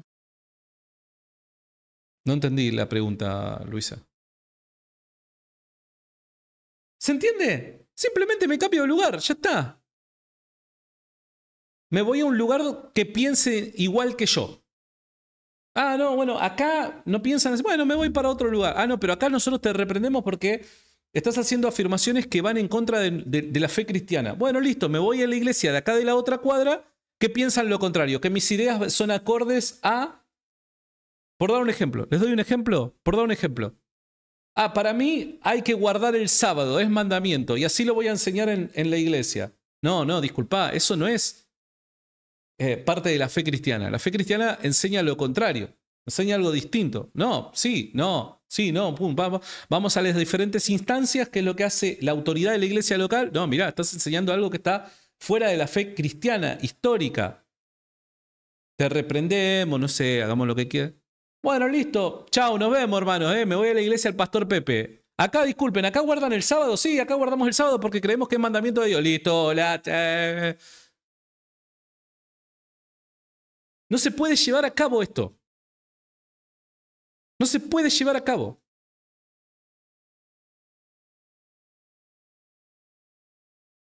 Es muy cierto lo que está diciendo Hugo. A la luz de esa multiplicidad de iglesias y de cultos, eh, como lo hay en el fraccionado mundo del protestantismo, estas enseñanzas de Jesús no tienen ningún sentido. Tienen sentido única y exclusivamente a la luz de una sola iglesia. Como esa iglesia que estuvo en los primeros siglos, sabíamos que los que venían eran herejes, los gnósticos, los maniqueos, los pelagianos, simplemente... Y, es que además, dice Carly Guzmán, cuando sabes todo esto en realidad cuesta más entender cómo los protestantes no lo ven. Yo creo que los protestantes lo ven, ¿eh?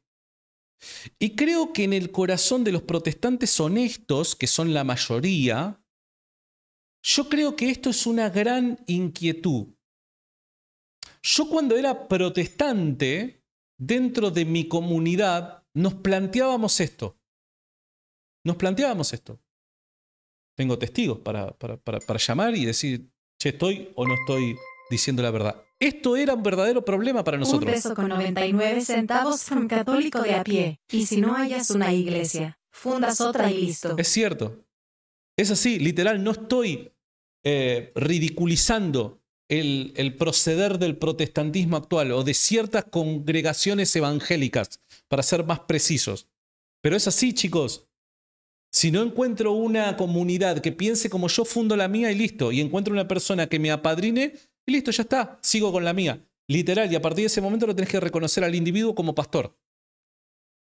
Es una locura eso, amigos. Pero reitero, esto no es algo que me parece que los protestantes no lo ven. Lo ven como un verdadero problema. Lo ven como un verdadero problema. Yo recuerdo cuando era protestante que en reuniones privadas que teníamos nos planteábamos digo, che, loco, ¿esto no es un verdadero problema? Y sí, es un verdadero problema. Y oramos a Dios para que de alguna manera vuelva a unir su iglesia. El protestante honesto ora a Dios para que vuelva a unir su iglesia, pero no sabe cómo Dios lo va a hacer. Es como el caso del judío, ¿viste? ¿Viste el caso del judío que todos los días va al, al muro de los lamentos a rezar para que Dios reconstruya el, el, templo? Y vos te pones a pensar y decís, yo la verdad es que quiero con todo mi corazón, o el judío dirá, ¿no? Yo la verdad es que quiero con todo mi corazón que eh, Dios reconstruya el templo, pero no tengo la más pálida idea cómo esto puede llevarse a cabo. ¿Por qué? Porque hay un montón de problemas que son imposibles saltearlos. ¿Cómo, cómo, ¿Cómo va a ocurrir esto? No tengo la más pálida idea. Bueno, lo mismo pasa en el mundo evangélico. Exactamente lo mismo pasa en el mundo evangélico. Quiero que Dios vuelva a unir la iglesia, porque de hecho, muchas congregaciones, comunidades evangélicas, están tratando de unirse, de reunirse. Lo hacen a partir del emocionalismo y ese es, esa es la crítica. La crítica no es la intención, porque la intención es buena, honesta, tratar de unir nuevamente el cuerpo de Cristo. Lástima que el unir el cuerpo de Cristo lo interpretan como entre comunidades evangélicas y no también con la Iglesia Católica. Ese es otro tema. Pero hay una intención de unir nuevamente, de unirse como cristianos pese a las diferentes congregaciones a las que puedan formar parte y pese a sus creencias. ¿Por qué? Porque el espíritu de esa intención de unirse pasa por el emocionalismo, el sentimentalismo. Van a haber un montón de grupos que unidos por Dios, eh, las iglesias unidas de... Van a haber un montón de grupos que, que, están formados por buenas personas, personas con buenas intenciones, pero que la motivación, la iniciativa es a partir de, la, de las emociones, nada más. Porque cuando vos los sentás después, te das cuenta que creen todo cosas distintas. Entonces vos decís, pero pará, ¿cómo puede ser esto? Bueno, son emociones. El camino que están tomando es incorrecto. Pero ¿por qué? están con esta motivación? Porque realmente están viendo que esto es un problema. Están viendo que esto es un problema.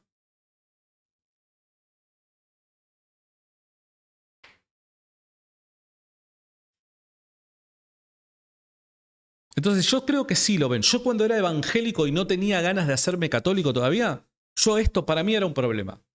Para mí era un problema. Era un problema.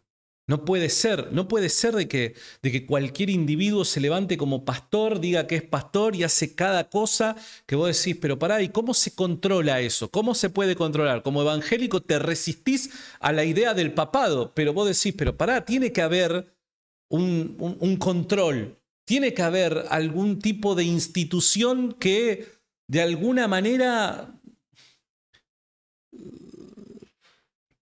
controle lo que está pasando. Los evangélicos honestos se están planteando eso. Pero se resisten al modelo católico, se resisten a la unión con la Iglesia Católica. Ese es el problema. Es como los ateos que quieren, que quieren la eternidad, pero rechazan a Cristo. Es como el ateo que busca la vida eterna a través de la tecnología, pero rechaza a Cristo. Está buscando para, para, para aquello que solo Dios te puede dar, está buscando camino alternativo, porque no quiere al dador de ese don. Bueno, lo mismo pasa en este caso. Se quiere una vía alternativa a la Iglesia Católica. ¿Se está entendiendo? La Iglesia tomaba una definición y decía, no. Carlos Javier Rovida dice, pasa mucho con divorciados que se van para que Pepe, que se van para que Pepe. No entendí, Carlitos. No, no entendí tu comentario, querido. Ustedes no son de la iglesia, ustedes son herejes. Y se sabía quién era la iglesia. Y esa iglesia siempre ha sido una iglesia visible. Por eso nosotros, como católicos, sabemos que nuestro origen viene o va al principio mismo, cuando esa iglesia fue establecida. Y esa es la gran diferencia. Esa es la gran diferencia. Entonces... En el protestantismo, más que autoridad y coordinadores. Ah, no, las, iglesias protestantes eh, más eh, venidas de la reforma directamente van a hablar de autoridades. Eh, claro, van a reconocer autoridades de su iglesia, claro. Los movimientos evangélicos más modernos son los que van a empezar a reemplazar la idea de la autoridad y la jerarquía con el liderazgo. Van a ver que hasta en su vocabulario van a cambiar las palabras. Ya no se van a referir al pastor como la autoridad de la iglesia, sino como el líder de la iglesia. Cambia. ¿Por qué? Porque ya la respuesta a la autoridad no tiene que ver por causa de su autoridad, sino por causa de su influencia sobre mi vida. Cambia completamente. Pero esto no es algo que en lo que todos los protestantes estén de acuerdo, en absoluto, para nada. Pero sí las e, iglesias evangélicas más modernas van a empezar a emplear este recurso, porque autoridad es muy autoritativo, muy... Entonces, influencia, la influencia del líder. Son básicamente coach, totalmente. Gracias, Ramón, por el superchat. Dice Orlando Meléndez. Los voy a leer a los superchats porque por alguna extraña razón no están sonando. Este es un programa para la historia, de mucha bendición. Un abrazo, Orlando. Todo, todas de Hugo esta. ¿eh? Recuerden, si no te has suscrito al canal de Hugo Delgado Oxana in Excelsis, en el comentario fijado del chat de cielo te vas a encontrar con el enlace. Vas, te suscribís y volvés. Porque es un genio Hugo enseñando. Gracias por el superchat, querido. Carlos Pastor manda un superchat también, te mando un abrazo, gracias por tu ayuda económica.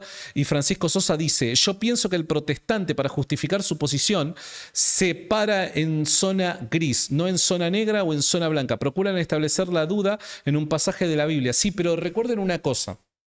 No podemos, no podemos caer en la deshonestidad intelectual en la que caen algunos protestantes. No hay que generalizar el protestante, no porque no es todo protestante. Por dar un ejemplo, el día de ayer tuvimos la visita en este espacio de un muchacho luterano del canal Identidad Luterana y ustedes han visto cómo él interpreta la fe de una forma distinta a lo que algunos apologetas evangélicos de redes sociales lo hace. Entonces no podemos generalizar. Obviamente, ¿Va a haber discusión teológica y diferencia teológica con todas las denominaciones protestantes? Claro que sí. Pero no podemos meter a todos dentro de la misma bolsa. Particularmente lo que es tendencia a hacer esto no es las, las eh, iglesias eh, más tradicionales eh, protestantes, las surgidas de la reforma protestante. No, ellos van a respetar todavía eh, un concepto de autoridad, no el mismo concepto de autoridad de la Iglesia Católica, porque si no serían católicos, pero sí un tipo de concepto de autoridad. La autoridad va a estar presente aún en estas congregaciones, en estas denominaciones o comunidades. Sí pasa que aquellas comunidades evangélicas que en la actualidad más crecen, aquellas que más se están multiplicando, son justamente estas que están dándole la espalda a la autoridad como tal y empiezan a eh, resignificar ¿no? todas las, cuestiones de, la autoridad y empiezan a suplantar la palabra autoridad o las autoridades con eh, la influencia o el liderazgo. ¿Está bien? No sé si se entendió. Eh, gracias, Fran, por tu super chat, querido. Te mando un fuerte abrazo. Gracias por la ayuda económica que me mandan, muchachos. De ahí dice Jesús, de ciertos digo, diciéndole a los apóstoles que todo lo que atéis en la tierra será atado en el cielo y todo lo que desatéis en la tierra será desatado en el cielo. Entonces ustedes se dan cuenta el contexto, ¿cierto? El contexto es que cuando los apóstoles deciden que una persona es un hereje y debe ser sacado de la iglesia, ellos tienen la autoridad para hacerlo. La autoridad investida por quién?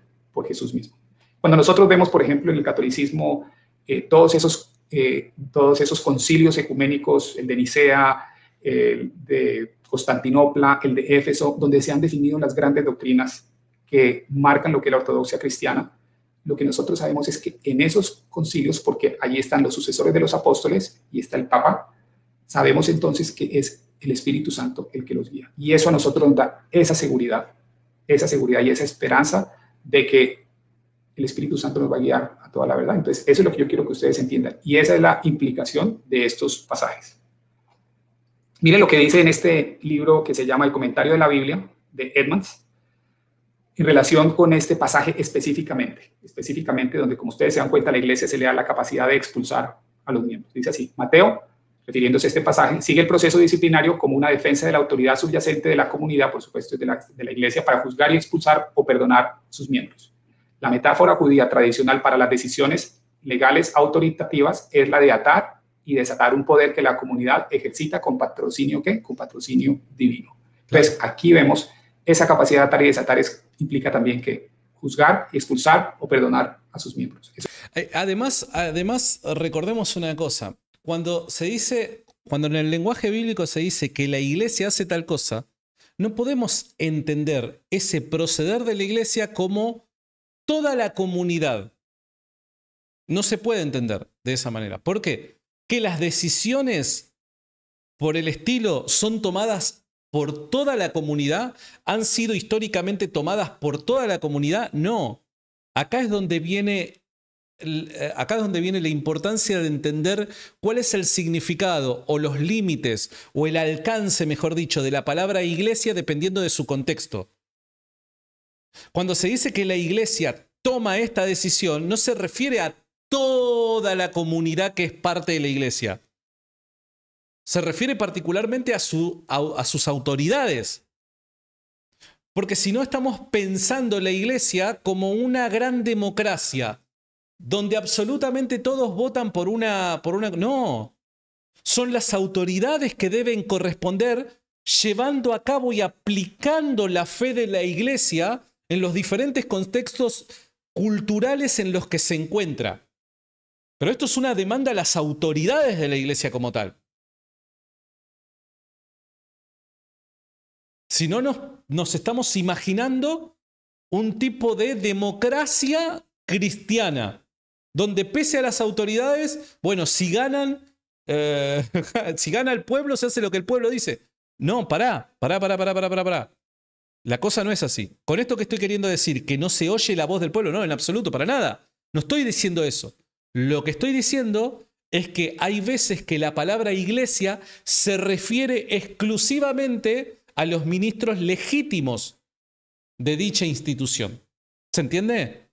Por eso es que hay veces que estas palabras se utilizan de forma ambigua y se cae en falacias para justificar la postura protestante. Es como dice eh, Norberto Hernández, exacto, Santi, la iglesia no es, no es democrática, es la monarquía de Cristo. La iglesia es una monarquía, amigos. Si la iglesia es el reino de Dios, reino de Dios, es una monarquía, donde el monarca es Cristo, el mayordomo es el Papa, pero también goza de servidores aparte de este gran mayordomo o de este, de este eh, eh, pastor superior, podríamos decir, no, no sé cuál es el término correcto, goza de también otras autoridades, pero que no pueden hacer lo que les place. Tienen que llevar a cabo y aplicar la voluntad del rey. ¿No es esto una democracia? Eso es parte de esa, ese poder de atar y desatar. El quinto punto que les quiero mostrar es... Vamos al quinto punto. Este quinto punto me parece fascinante, muchachos. Espero que se esté entendiendo todo porque me parece que es brillante este, este, esta, esta enseñanza, esta defensa. Tenemos más de 1.400 personas en el chat. Les mando un abrazo. Gracias siempre por todas las mañanas estar aquí conectados, hacernos el aguante. Eh, gracias, los banco un montón y los quiero. Abrazo enorme a la distancia. Es el tema de la inspiración divina. ¿Y por qué es importante el tema de la inspiración divina? Déjenme leerles una, una digamos, uno de los textos. Eh, Ven, acá donde hay un problema, dice, ¿y por qué reniegan de fiduchas suplican? Si los eligieron, no saben ni escribir. Bueno, todo, todo bien. Eh, si los eligieron sus autoridades. Ven que acá es donde está la confusión. Porque estamos hablando de la infalibilidad.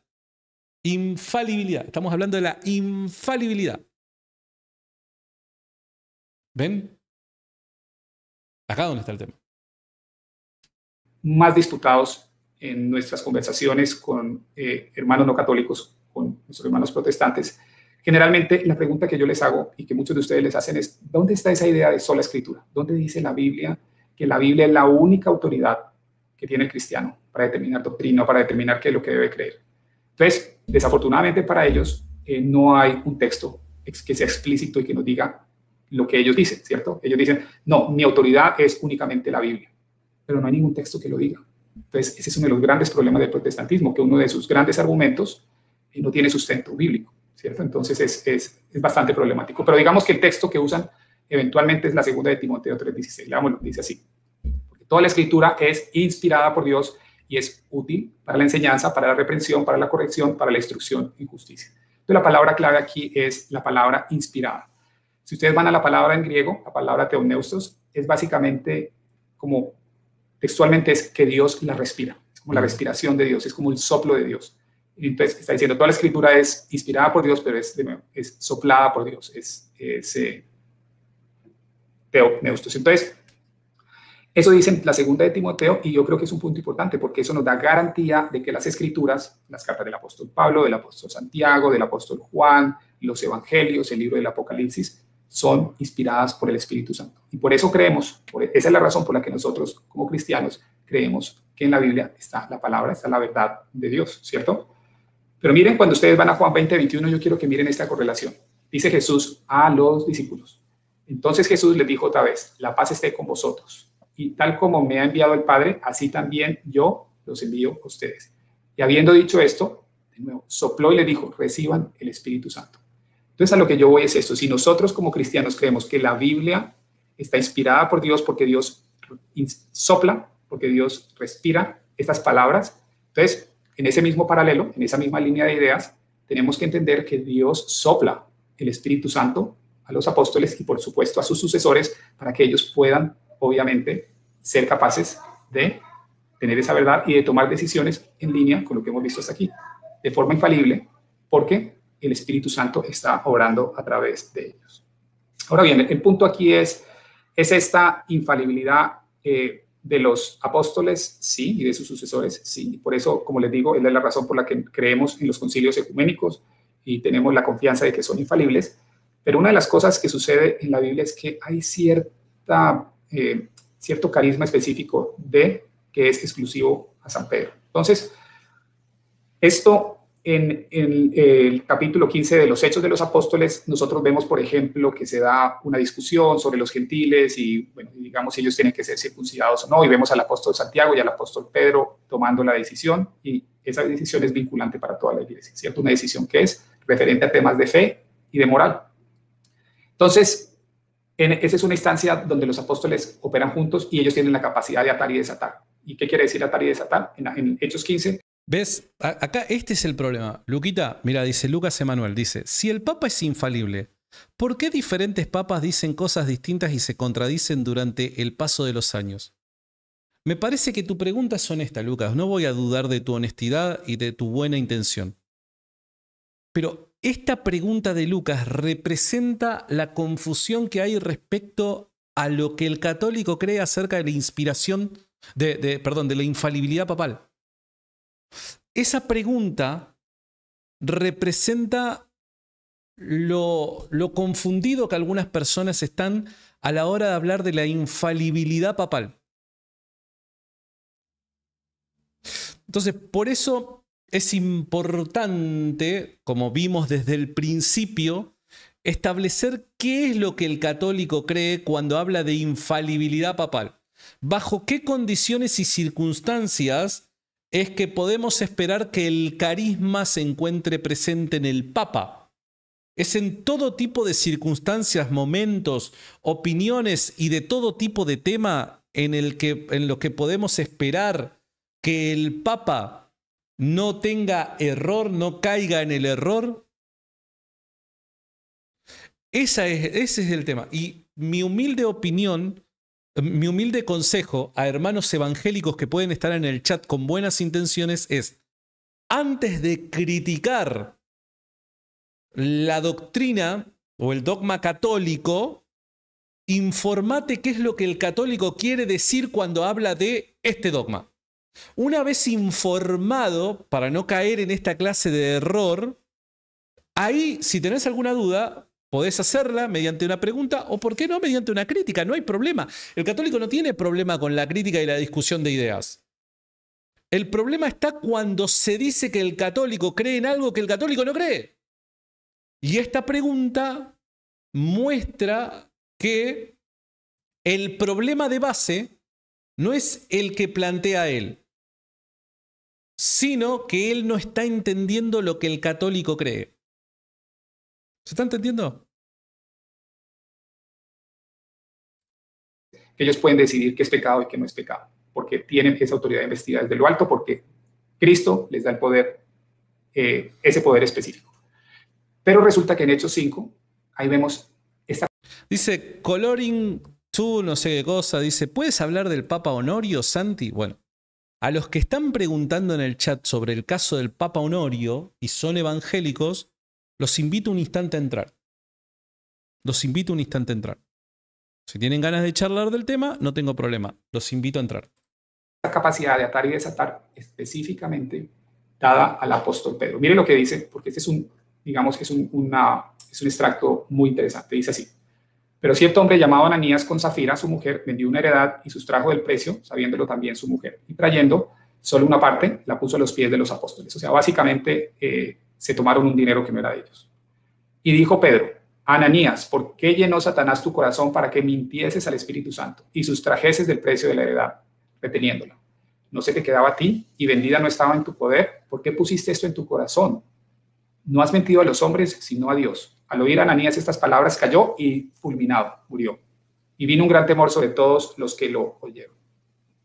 Entonces Pedro le dijo, dime, ¿vendisteis en tanto la heredad? Y ella dijo, sí, en tanto. Eso es a la esposa, ¿cierto? Ya él muere el esposo, llega la esposa y Pedro la aborda igualmente. Entonces le dice lo mismo, ¿no? ¿Vendisteis en tanto la heredad? Y ella dijo, sí, en tanto. Y Pedro le dijo, ¿por qué convinisteis en tentar al Espíritu del Señor? he aquí a la puerta los pies de los que han sepultado a tu marido y te sacarán a ti. Jesús, Al instante ya cayó a los pies de él y también se murió. Y cuando entraron los jóvenes la hallaron muerta. Y la sacaron y la sepultaron junto a su marido. Y vino... Che, tenemos 900 likes, no sean ratones, lleguemos a los 1000 likes, dale. Tenemos más de 1400 personas en el chat y 900 likes. Pongan pulgar para arriba, muchachos, no sean malos, así llegamos a más gente. Gran temor sobre toda la iglesia y sobre todos los que oyeron estas cosas. En este libro que les estoy mostrando aquí, que se llama Hard Sayings of the Bible, los autores proponen lo siguiente. Dicen así. Atar y desatar eran expresiones idiomáticas que se expresaban en el judaísmo rabínico para denotar la promulgación de reglas, ya sea prohibiendo o autorizando varios tipos de actividad. Cuando la disciplina de la iglesia está a la vista de todos, la reprensión verbal de Pedro a Ananías y Zafira recibe una drástica ratificación del cielo. Entonces lo que están diciendo estos eh, académicos es que básicamente este suceso en Hechos 5 es una manifestación de la capacidad de atar y desatar, pero en este caso específicamente es la que se le ha dado al apóstol Pedro. Recordemos que aparte de eso él tiene las llaves, ¿no? Entonces, esto lo que les estoy mostrando es que hay varias dimensiones y todas ellas tienen que ver con esa autoridad divina y esa capacidad que ellos tienen, eso, ese carisma especial que se les da a los apóstoles y por consiguiente a sus sucesores, porque en el libro de los Hechos se muestra Pasamos los mil likes. Son unos grosos, amigos. Gracias, queridos. Lindos, los quiero. Gracias por estar ahí siempre. Como los apóstoles tienen sucesores. Eso es bíblico. Entonces, a donde yo voy con esto es a lo siguiente. Ustedes recuerdan, en la clase pasada hablamos de esta idea del deísmo eclesial, ¿cierto? El deísmo, digamos... Si pueden ver la clase de Hugo Delgado acerca del el deísmo eclesial, deísmo con D de Daniel, es genial. Dos pesos from Chuy Castillo. La pregunta de Luquita se responde con el video de Rich. Con el video de Rich. Ok, no entendí muy bien, pero ok. Eh, gracias por el superchat, Choi. Em, si pueden ver, recuerden, en el comentario fijado del chat se encuentra el canal de Hugo Delgado Osana in Excelsis. ¿Está bien? Vayan y suscríbanse si no lo, no lo tenían en su agenda. Eh, si pueden ver la clase de el deísmo eclesial, es otra que recomiendo. Es una que a mí en su momento me abrió terriblemente los ojos. Y es un problema que tiene el protestantismo y del que no muchos son conscientes de ello. Es terrible ese problema, terrible, literal, ¿eh? terrible. Yo no me estaba dando cuenta que yo también era parte de ese, de ese problema, ¿no? Eh, así que bueno, nada. Los, los invito a ver ese video, no se lo pierdan. Vamos, hay dos, dos corrientes. Está el teísmo, que es donde uno cree que Dios no solamente crea el universo, sino que también se involucra directamente y activamente en él. Y tenemos, por ejemplo, que esa es la, esa es, digamos, esa es la visión judía, eh, la visión judeo-cristiana, un Dios activo, ¿cierto? Pero hay una idea que se llama el deísmo. Y el deísmo es más esa idea de que sí, Dios crea el universo, pero tal como ese reloj que ustedes ven aquí, eh, él simplemente lo que hace es crear el mecanismo y lo pone a funcionar y sencillamente se desentiende y deja que el mecanismo funcione independiente de él, pero él eh, deja que las cosas pasen. O sea, el deísmo lo que afirma es que existe un Dios creador, una vez que creó el orden del universo, lo echó a andar y dijo, ahora arréglensela ustedes, muchachos.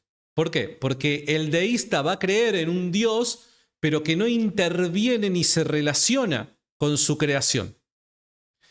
Lo que Hugo dice es que el protestantismo va a suscribirse a un tipo de deísmo eclesial. ¿Por qué? Porque como muchos habrán visto, muchos de los que están aquí conectados habrán visto, yo he tenido muchas conversaciones con hermanos evangélicos que suelen afirmar que, no sé, por dar un ejemplo, en el siglo II, siglo III o siglo I, la iglesia se corrompe y permanece corrompida durante 14, 13, 14, 15 siglos.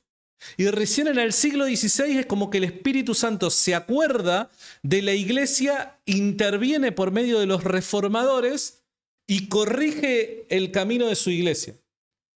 Entonces, ¿por qué deísmo eclesial? Porque durante un determinado periodo de tiempo, 1200, 1300 años, el Espíritu Santo es como que se mantuvo al margen de los problemas en los que estaba inmerso la iglesia Dijo básicamente, arréglensela ustedes, yo les di la Biblia, si ustedes no la saben entender es problema de ustedes, si ustedes terminan abrazando herejía y se van al infierno es problema de ustedes, yo ya les di la Biblia y se terminó. ¿Se entiende el problema? Porque pensar, pensar de Dios de esta manera, o pensar en Dios de esta manera, es una idea muy antibíblica de Dios. ¿Se entiende? ¿Qué, salame? Ahora sí. Es un Dios más, eh, menos involucrado. Y esa idea de deísmo la, aplicábamos a lo que yo llamaba al deísmo eclesial. Entonces, digamos, hay dos ideas, hay dos, hay dos conceptos, hay dos, hay dos campos en donde nosotros como cristianos podemos estar. Podemos ser cristianos que creen en la infalibilidad eclesial, ¿cierto? Los que creen en la infalibilidad eclesial son los católicos, básicamente. Eh, y esa infalibilidad eclesial es una infalibilidad que nos da esperanza. Claro. ¿Por qué? Porque creemos que el Espíritu Santo... Que Dios no abandona su iglesia.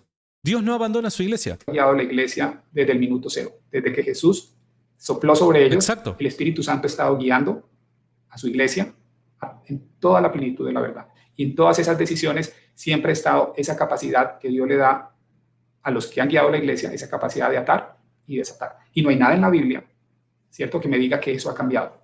No hay nada en la Biblia que me diga que en el siglo XVI iban a aparecer ciertas personas y iban a recuperar el Evangelio. Exacto.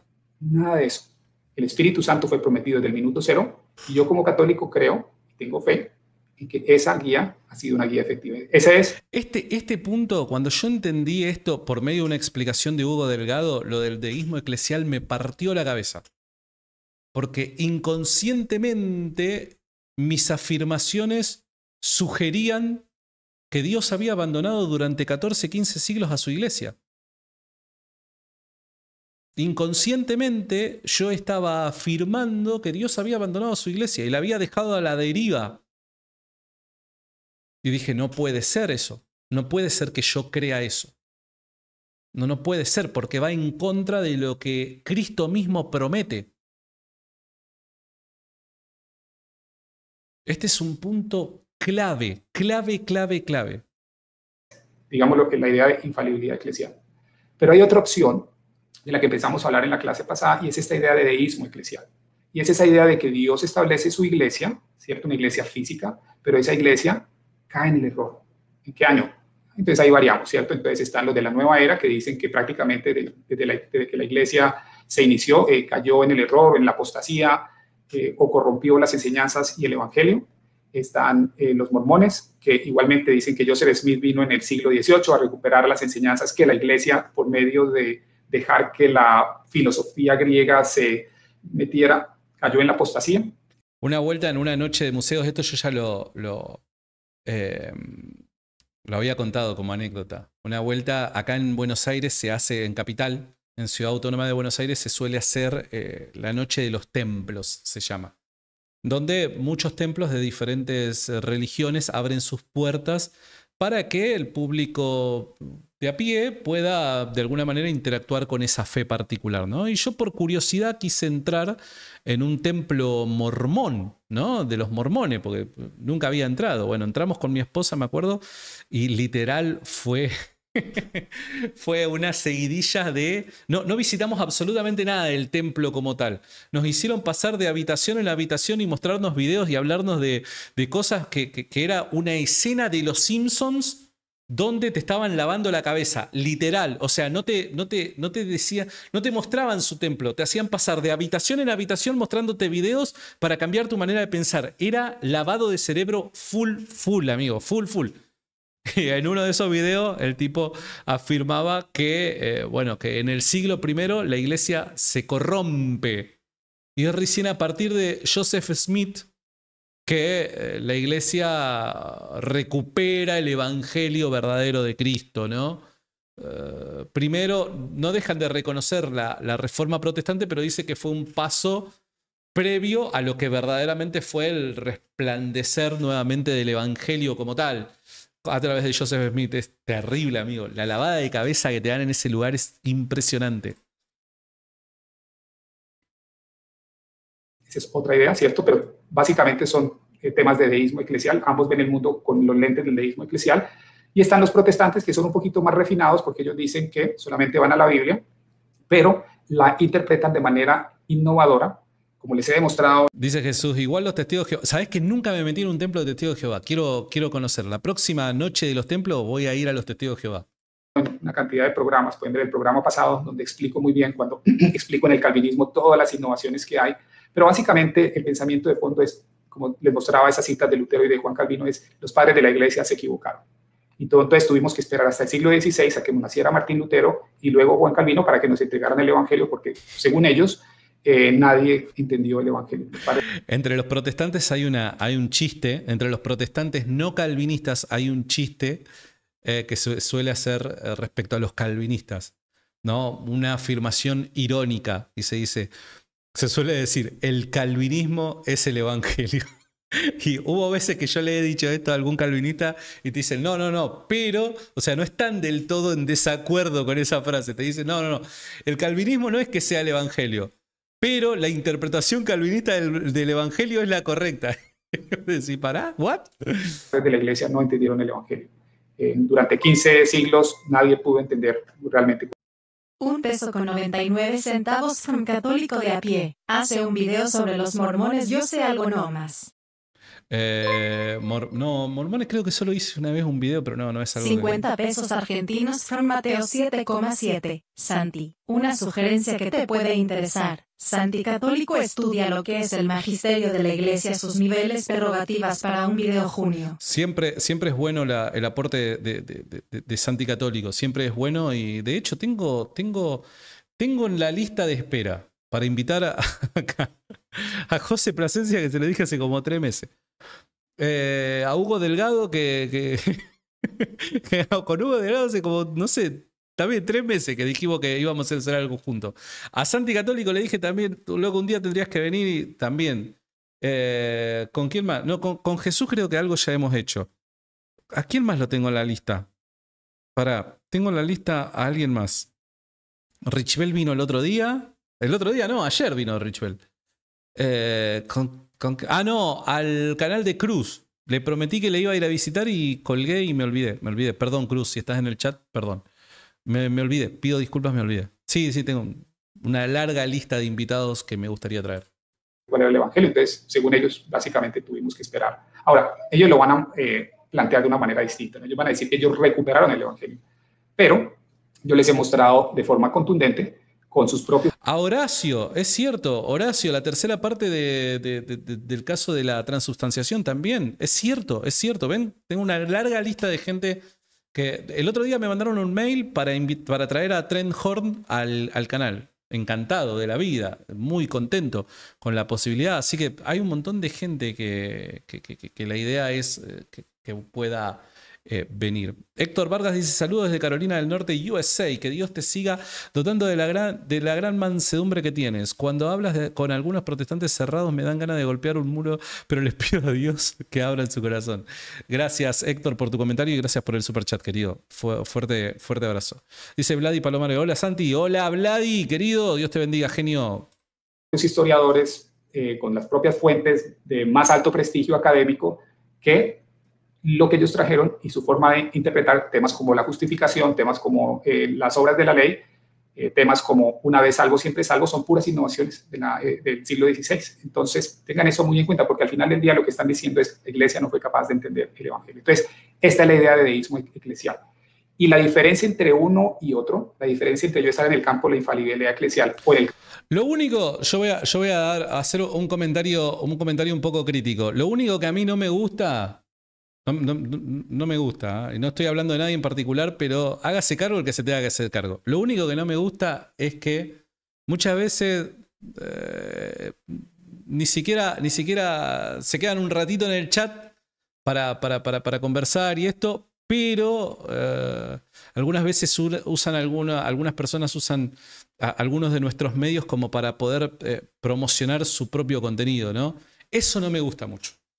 Sí, sí, yo no tengo problema con que se promocione eh, el contenido que, cualquier persona del otro lado haga, siempre y cuando sea, sea católico, promocionenlo, está fantástico. Pero si van a hacer eso y compartan un ratito acá con nosotros, ¿se entiende? Quédense un toque con nosotros y compartan un rato con nosotros. El campo del deísmo eclesial, la diferencia no es nada más y nada menos, lo que, lo que marca la diferencia es esa varita mágica que ustedes ven allí. Y esa varita mágica es lo que yo hoy les he explicado. Esa es la infalibilidad papal, es esa idea de infalibilidad en la cual entendemos. De hecho, llamativamente, en el canal de Telegram se comparten más videos de otras personas que los streams cuando nosotros lo hacemos, ¿no? Cuando encendemos acá la cámara. Eh, a mí, a mí me, mejoró un poquito. Tengo que ser honesto, mejoró eso un poquito. Me, me, molesta un poquito. No tengo problema, reitero, no tengo problema que se promocione el contenido de otros canales. Háganlo, fantástico. Pero tengan la delicadeza de cuando uno también hace contenido de compartirlo y cosas por el estilo. Me parece que es un va y viene, qué sé yo. No sé, es una opinión personal. Cuando ves el grupo de Telegram, todo el mundo participa ahí compartiendo su propio contenido. Nosotros estamos en vivo y casi nadie lo comparte. No, eso es fantástico, muchachos. Es genial. El otro día, de hecho, casi cierro el grupo de Telegram y digo, bueno, ármense sus propios grupos, qué sé yo. No, no, Pero después digo, no, si después hacemos reacciones eh, y usamos el canal de Telegram, no, importa. Pero tengo que ser honesto, perdona, pero mi corazón me molesta un poquito eso.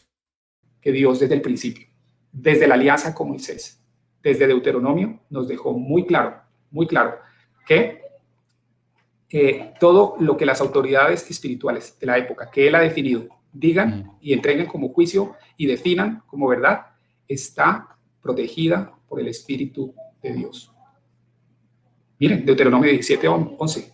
¿Qué les dice Dios? Hará según las instrucciones con las que ellos te instruyan y según el juicio que pronuncien.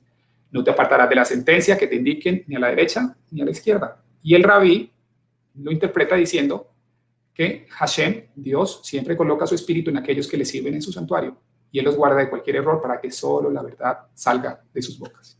Entonces, esto es lo que yo quería compartir con ustedes hoy, un conocimiento que les muestre que esta idea de infalibilidad está profundamente mm. anclada en el Antiguo Testamento y en el Nuevo Testamento.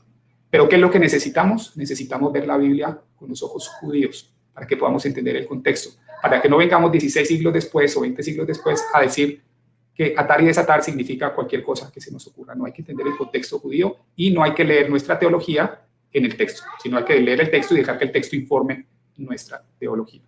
Entonces, esto es eh, lo que yo tenía y quería mostrarles hoy. Pero al final del día, el punto es ¿qué me da a mí esto como católico? Porque esto es importante para mí como católico. Porque, de nuevo, esto, la infalibilidad. Dice Desi, hay que sacar un comunicado en Telegram para que no estén compartiendo y promocionando sus videos. No, yo no dije eso, no me malinterpreten. Yo dije, no me molesta eso. Pero tengan la delicadeza de, si van a hacer eso, quédense un ratito acá en el chat o compartan también en, cuando nosotros hacemos stream. A eso me refiero. Santi, si una persona no puede entender este tema, ¿cómo es posible entender otros temas como la transustanciación? La pregunta es ¿por qué no se puede entender? Porque no, no, no, no quiere decir que alguien no pueda entender algo solamente porque intelectualmente no es capaz de poder entenderlo. Hay veces que hay otros obstáculos, por dar un ejemplo, los culturales, en donde la persona tiene un sesgo y no es por falta de capacidad intelectual, sino que es por otras razones que no termina de entender ciertos temas. Entonces, ah, no hay que creer que solamente alguien no puede comprender un tema por incapacidad intelectual. No, no creo que sea así. La idea de infalibilidad me da esperanza. Incluso cuando yo veo un papa que está haciendo, tomando decisiones que yo puedo considerar injustas, que yo puedo considerar Gracias lo que tengo que entender es que el Espíritu de Dios está guiando a esa persona. Así yo considere que ese papa eh, ese, eh, tenga una personalidad con la que no coincido, eh, que puede que sea una persona que no tiene la fe que yo creo que debería tener mm. o que no actúa de la forma que yo debería tener. Siempre tenemos que tener la fe en que esta infalibilidad, que este carisma especial, Dios lo ha prometido y va a funcionar. Él dijo que las puertas del Hades o del infierno no iban a prevalecer en contra de su iglesia. Y nos sirve también para abordar a nuestros hermanos cristianos no católicos y mostrarles que hay esperanza, que hay una instancia que nos pueda ayudar a interpretar la Biblia de forma infalible. Para que cuando yo tenga una pregunta de qué va a pasar con los niños que se mueren, por ejemplo, sin ser bautizados, yo tenga un magisterio que me pueda decir, o que tenga potencialmente la oportunidad de decirme qué es lo que va a pasar, o que me pueda decir qué pasa conmigo si soy bautizado, recibo o no recibo el Espíritu. Hay, eh, tengo que hacer obras o solamente tener fe. ¿Quién me va a aclarar todas esas cosas? En el mundo protestante lo que vemos es una cantidad de opiniones eh, y yo creo que la gente sufre mucho con eso y tiene una tremenda, tremendas inquietudes porque hay una cantidad de opiniones eh, que se contradicen. Entonces, ser católico nos da esperanza, ser católico eh, nos da esa seguridad. Y de nuevo, no es que nos la inventamos, es que está en la Biblia. Y finalmente, eso es parte del acto de tener fe, es tener fe en esos instrumentos. Sí, hablando del grupo de Telegram, voy a continuar con un video ahora del padre Luis Toro que va a hablar también de la infalibilidad papal, ¿sí?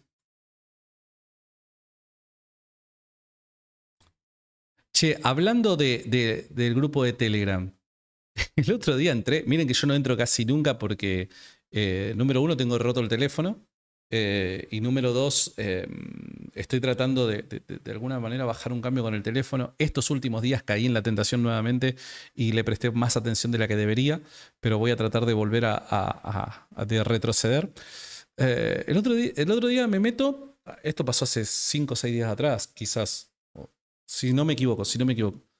Y me fijo y estaba Edgar Pacheco en el grupo de Telegram.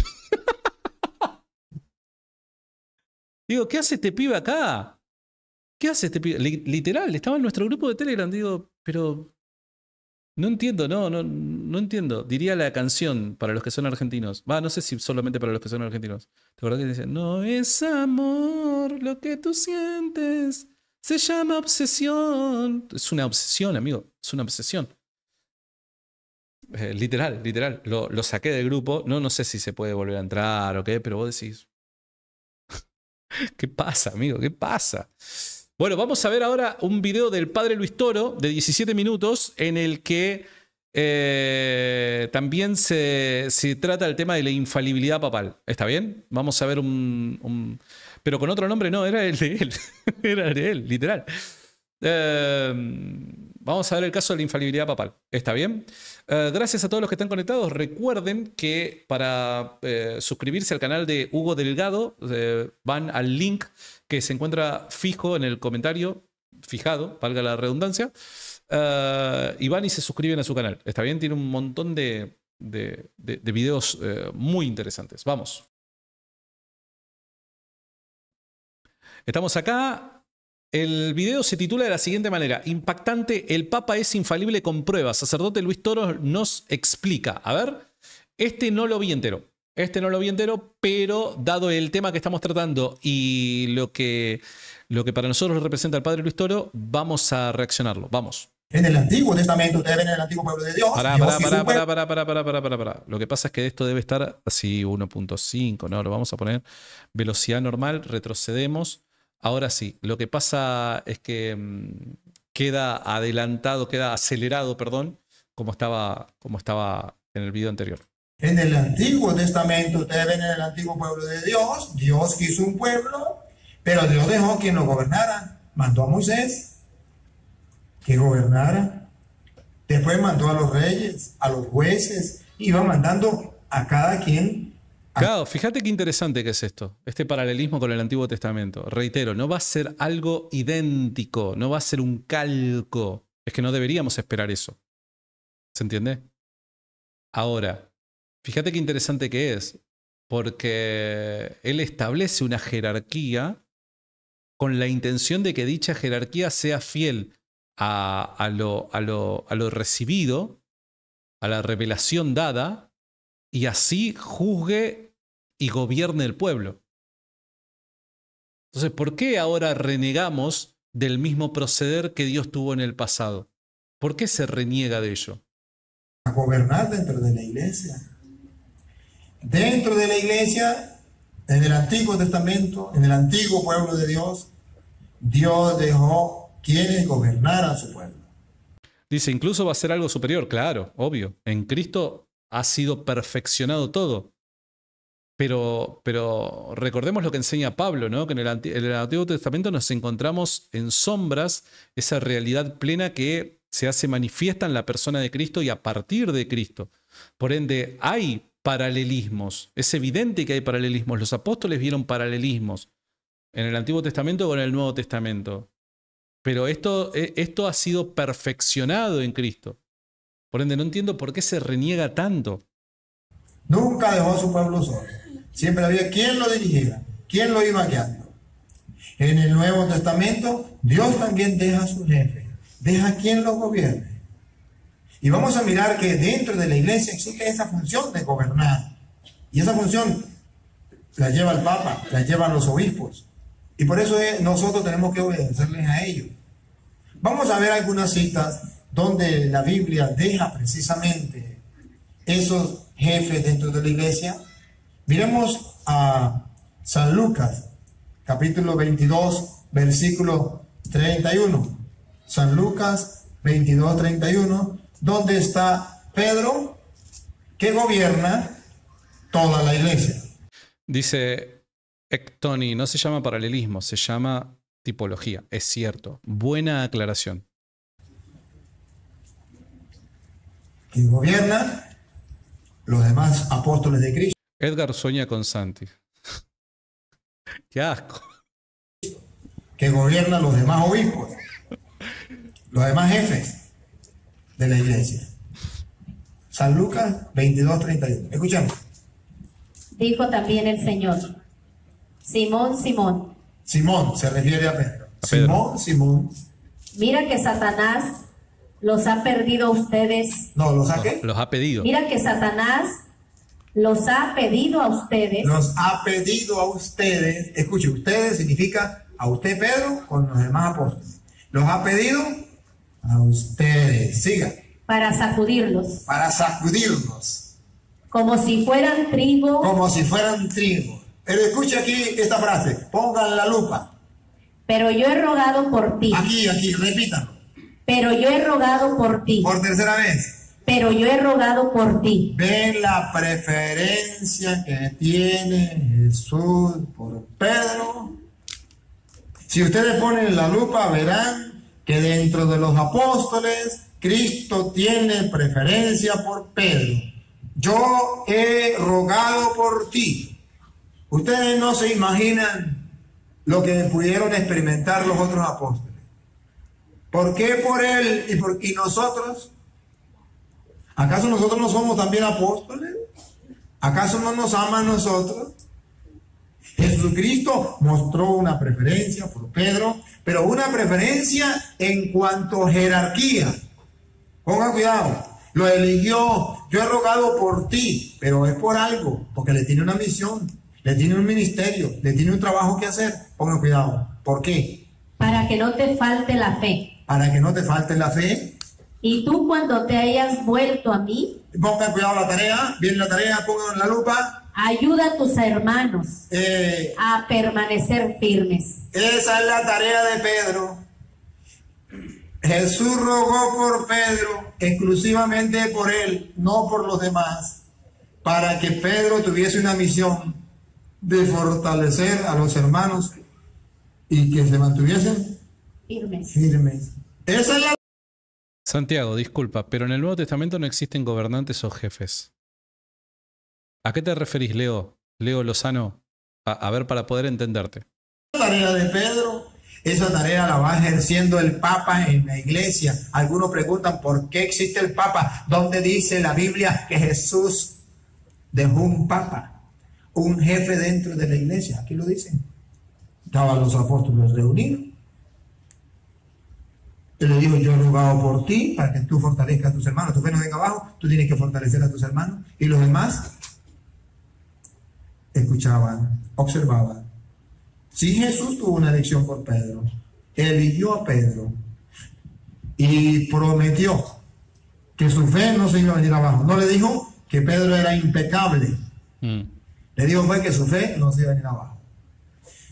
Eso se llama, eso se llama en lenguaje del castellano, del español, se llama, para nosotros hablando en español, se llama, el Pedro es infalible, no impecable. Una cosa es impecable y otra cosa infalible. Pedro es infalible, pero no impecable. El Papa puede equivocarse, puede cometer pecados. Pero en cuestiones de fe, Jesús le dijo, yo he rogado por ti para que tu fe... Dice, soy el compa pentecostal. ¿Y por qué Pablo reprende a Pedro? Por lo que está diciendo el, el padre Luis Toro. ¿Lo, lo estás escuchando? Porque el Papa es infalible, no impecable. Y cuando vos lees el pasaje de Pablo reprendiendo a Pedro, ¿qué es lo que reprende? Su hipocresía. Hipocresía. No tiene nada que ver con la infalibilidad.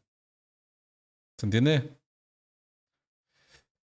Sí, lo que dejó Jesús fue guías, pero no jefes o gobernantes. De hecho, Jesús indica que sería, eh, Pedro lo confirma haciéndose igual a los demás. Eh, no estoy de acuerdo. No, no, no, no estoy de acuerdo. Acá, acá es donde, donde yo digo, este comentario me parece que es una fiel referencia a lo que hace 30 minutos atrás decía yo, que hay, las comunidades evangélicas están están inclinándose cada vez más a dejar de lado el concepto de autoridad y volcarse por un tipo de liderazgo. ¿Vieron de que hace minutos nada más yo estaba hablando de eso? De, de que las comunidades evangélicas están abandonando el concepto de autoridad y se están volcando por un tipo de liderazgo. Bueno, este comentario me parece que lo refleja. Dice, lo que Jesús dejó fue guías, pero no jefes o gobernantes. Es que un gobernante de la iglesia es también un guía, ¿no? Pero esta idea de guía como líder, como influencia, es poco bíblica. no venga abajo. Si Jesús es Dios y No necesariamente, querido. Dice Santiago, guía y gobernante son dos cosas diferentes, investigalo. Mi pregunta es la siguiente, querido Leo. ¿Jesús es gobernante? Jesús es rey. ¿Jesús es guía? Claro que sí, Jesús es el camino. Por ende, guía y gobernante puede referirse al mismo individuo. Perdón, sé que las autorreferencias o los autoaplausos no son de buen gusto, pero me pareció que, que- que- que- era, era un buen momento. rogó al Padre por Pedro para que su fe no venga abajo, los católicos creemos que el Papa es infalible. Y no solamente los católicos, también los protestantes. Porque aunque lo llamen la bestia, ellos saben que el Papa es infalible. Se lo explico con un ejemplo. Un día estaba yo en, mi parroquia, estaba desayunando, como a las 7 de la mañana, cuando llegaron dos monaguillos pálidos. Pa- Padre, padre, los, los evangélicos. ¿Dónde están? En la sacristía. Se metieron a la iglesia y llegaron a la sacristía a los protestantes, a los monaguillos. Yo me fui. Llegué, eran dos señores, una señora y una muchacha. Buena, buena. Me dice, ¿usted es el sacristán? Le dije, sí, a la orden. Digo, es que estamos predicando la palabra de Dios. Usted entenderá, esta muchacha está aprendiendo. Yo le estoy enseñando, le estoy enseñando cómo se predica. Y le dije, ah, bueno, pues, pues yo quiero ver también cómo se predica. Yo vengo, vengo Soy el compa pentecostal. ¿Querés entrar un ratito y charlarlo? Me queda media hora, querido.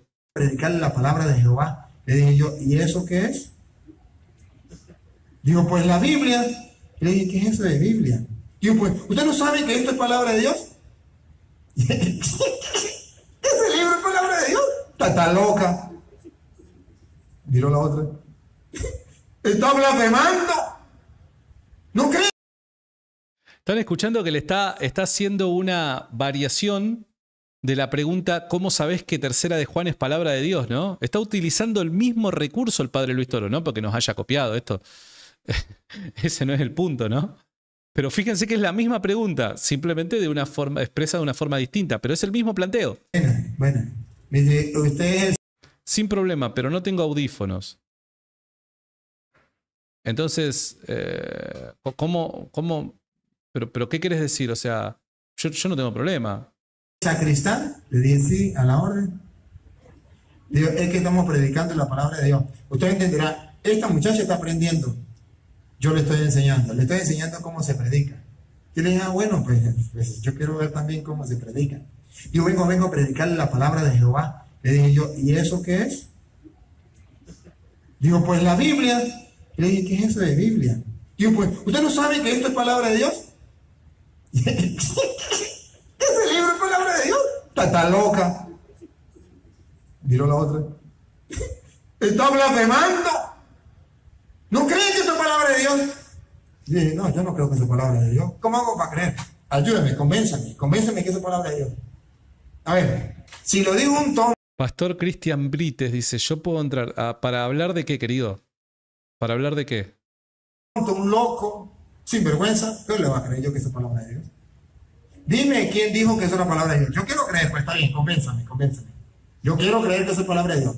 Pero dime, porque Dios no hizo la Biblia. Dime quién le dijo al mundo que eso era palabra de Dios. Dímelo. Se quedó pensando. Le dije, bueno, dime quién le dijo a usted que eso era palabra de Dios. Dijo, el superintendente. Le dije, ¿quién le dijo a ese superintendente? Dijo, otro superintendente. Y le dije, ¿quién le dijo al otro? Dijo, no sé. Yo le dije, yo sí sé. Vaya, averigüe quién hizo la Biblia, quién le dijo al mundo que eso era palabra de Dios, y usted viene y me lo dice. Sobre el tema de Pedro. Pero, pero, pero ¿qué respecto al tema de Pedro? O sea, ¿qué? No, no, no entiendo. Leonardo Lozano, Santiago, te explico. Yo soy dueño de una compañía y soy guía de ellos. Cuando no trabajo, dejo encargados que guíen a los demás. Y esos guías que yo dejo no son jefes o gobernantes. Bueno, que particularmente eh, en tu empresa se manejen de esa manera no quiere decir que en el reino de Dios se manejen de esa manera. Yo podría hacer referencia a otra compañía en donde hay encargados y supervisores que para el empleado raso son jefes, pero no es la el- el último, mm, eh, ¿cómo es? Eh, la posición jerárquica más alta. Porque la posición jerárquica más alta la puede tener, no sé, un, un, un CEO, ¿se entiende? La, po- la podría tener, no sé, algún, algún director de la empresa. Eh, pero ellos no dejan de ser autoridades. Autoridades que deben de corresponder con la, con la más alta autoridad. Bueno, entonces, me parece que es una falsa analogía. Dijo, mañana vengo. Le dije, vaya, mañana yo le espero. Esperé dos años y no fue.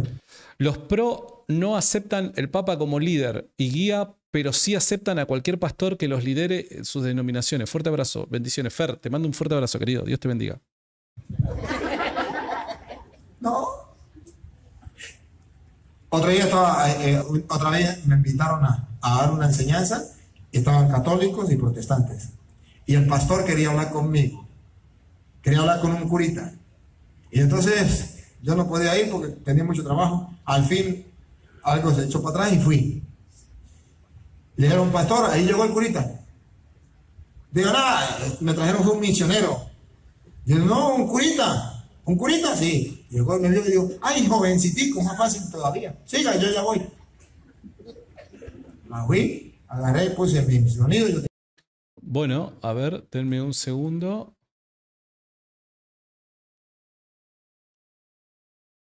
Denme un segundo, por favor. Ah, soy un cabeza de termo. Ahí está.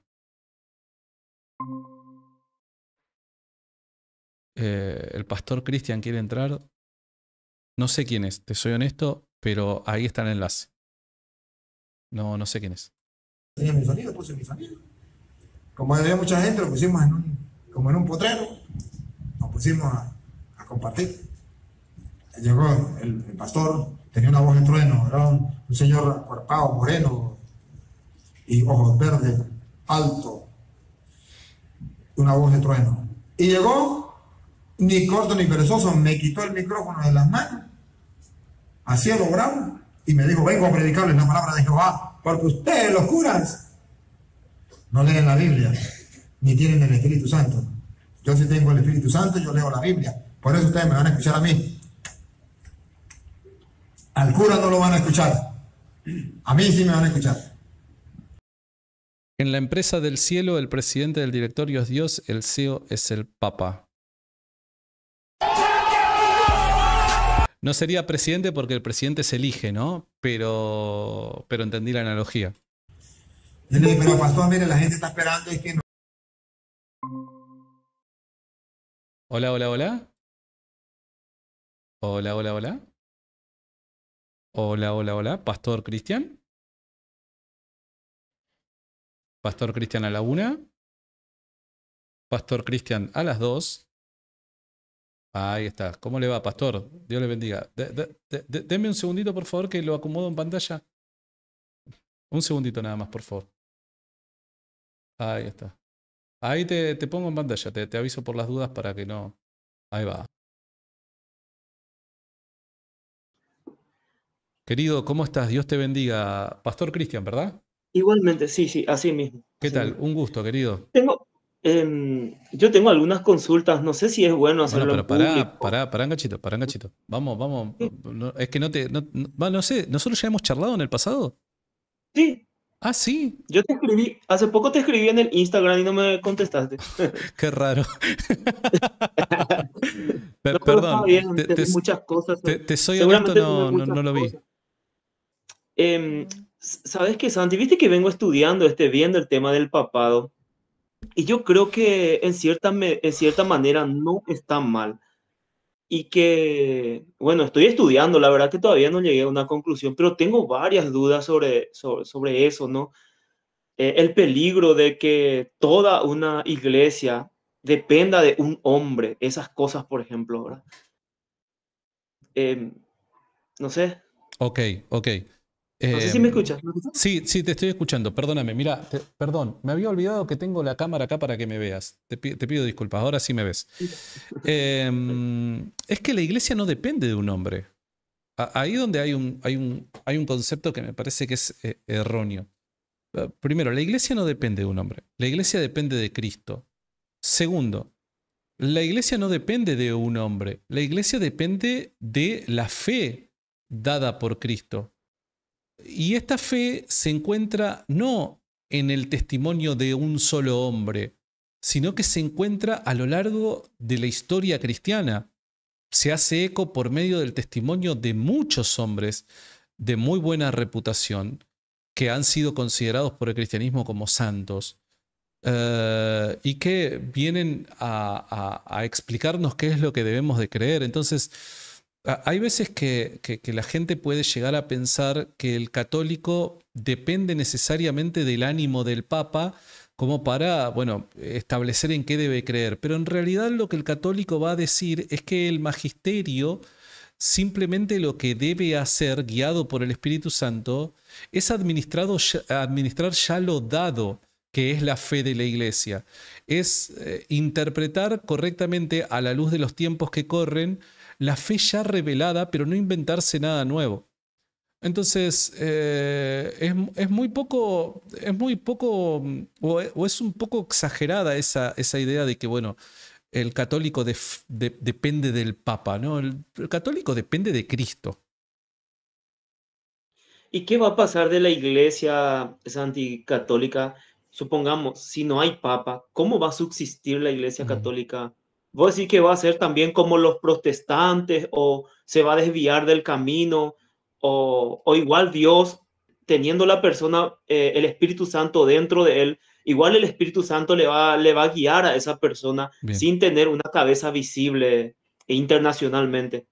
Ah, es que la pregunta, con todo respeto te digo, no tiene sentido. Es, es, es similar a la pregunta de ¿qué, qué haría el mundo sin una iglesia. Bueno, para una conversación uh, un tanto random, tomando unos mates o un tereré en este caso, que me encanta y a mi esposa no le gusta, lamentablemente, eh, bueno, puede llegar a ser ocasión para especular un poco y tener charlas un poco sin sentido. Pero en realidad no tiene ningún tipo de sentido la pregunta y te explico por qué. Porque dadas las promesas de Cristo, dicho escenario es imposible. Entonces, la idea de una iglesia sin papa es, es, similar a la idea de un mundo sin iglesia. Dentro de la teología cristiana no es posible y no es posible a causa de las promesas de Cristo. Y las promesas de Cristo deben llevarse a cabo, deben cumplirse por causa de quién es Cristo, que es Dios. Yo entiendo, Sandy, que para un católico quizás la pregunta no tenga es sentido. Cierto, es muy cierto. En mi caso, en mi caso, por ejemplo, yo que no me adhiero al Papa y yo amo al Señor, ¿verdad? Quiero seguirle, quiero servirle al Señor. Entonces, ¿qué pasa conmigo, verdad? Si leo la escritura, le oro al Señor, mm. pero no me adhiero al Papa, eh, entonces el Espíritu Santo no me guía. Eh, eso es lo que quiero que me explique, ¿verdad? Bien. A eso yo me refería. En, en el caso de los protestantes, que, que no le tiene al Papa como una cabeza visible de la iglesia, pero que igual van a ser salvos y el Espíritu Santo en cierta medida o totalmente o parcialmente le está guiando. Bien, yo creo, yo creo que tal y como vos dijiste, hiciste la última aclaración, podemos esperar que no por causa del Espíritu Santo, sí por causa de nuestro corresponder con lo revelado por el Espíritu Santo, va a haber una guía parcial a esos cristianos. Por eso es que la Iglesia Católica reconoce a los cristianos protestantes como hermanos, pero hermanos separados que no están eh, en plena comunión con la Iglesia, pero sí hay una comunión parcial con la Iglesia. ¿Y de qué manera es esta comunión parcial? En la medida en la que se suscriben a la fe de la Iglesia. Por ende, son reconocidos como cristianos porque hay verdades cristianas aceptadas por los protestantes. Eh, pero que el protestante, por causa de otras que rechaza, no puede vivir plenamente la fe católica. Por dar un ejemplo, vos tenés la escritura, pese a que yo como católico tengo que criticar el hecho de que le faltan siete libros al Antiguo Testamento tuyo, más allá de eso, yo reconozco que vos tenés la escritura y en la escritura se encuentra la revelación. Por ende, va a haber una guía parcial porque tenés parte del el depósito de la fe. ¿Y por qué digo parte del depósito de la fe, por así llamarlo? Porque la revelación se ha comunicado por medio de dos vías. Una vos la aceptás, la otra la rechazás. Entonces no hay comunión con la plenitud de la fe de la iglesia, pero sí el Espíritu Santo en la medida en la que lo dejamos, y como protestantes o ex protestantes yo te puedo decir que parcialmente, hoy conociendo la verdad, parcialmente lo dejaba actuar en mi vida, eh, el Espíritu Santo en la medida en la que yo lo dejo va a tratar de guiar eh, mi, corazón hacia, la verdad y protegerme de todo lo que, pueda llegar a, apartarme de Cristo, ¿no? Entonces, pero eso es en la medida en la que lo dejo. Ah, entonces, yo creo que, hay una guía parcial eh, del Espíritu Santo a vos y a los hermanos protestantes, porque hay una parcial comunión con, la iglesia por medio del sacramento del bautismo, por medio de la fe en Cristo Jesús, por medio de la escritura, eh, pero no así con toda la fe o con la plenitud de la fe que se ve manifiesta en la escritura eh, de forma plena, en la tradición, en el magisterio, en los sacramentos. Eh, entonces, por eso es que yo te puedo decir a vos, hermano, te puedo reconocer como, como, como hermano. Si lo que yo quisiera, y es justamente la tarea que llevo a cabo, es que no te quedes con el cristianismo en parte, sino me encantaría que conozcas el cristianismo de forma plena. Em, vos, Santi, ¿qué te pasaste del, de, bueno, del no sé si evangelismo, protestantismo ahora, al catolicismo. Eh, ¿Por qué es que nosotros, cuando venimos a la palabra de Dios, en mi caso, la verdad que yo quiero ser sincero, ¿verdad? Sí. Quiero, quiero ser sincero con la palabra de Dios. ¿Por qué es que cuando vengo a la palabra del Señor no me cierra el, la, la, doctrina católica? ¿Cómo es que a vos te cerró? Porque tiene que llegar un punto en que diga, ah, mm. sí, esto es cierto. ¿Y por qué es que leyendo y releyendo, releyendo y releyendo y viendo mil videos, por qué es que no cierra? Eh, mira, te soy honesto, no, me parece que sería injusto generalizar. Yo no te puedo decir a vos por qué a vos no te cierra, porque el único que conoce tu corazón y, y, quién sos realmente es Dios. Yo no puedo pretender conocerte a vos. Puedo sí proyectando mi, mi, ex evangelicalismo, puedo sí entender de forma superficial cuáles pueden llegar a ser algunos factores que interfieren eh, a la hora de analizar el caso de la fe católica.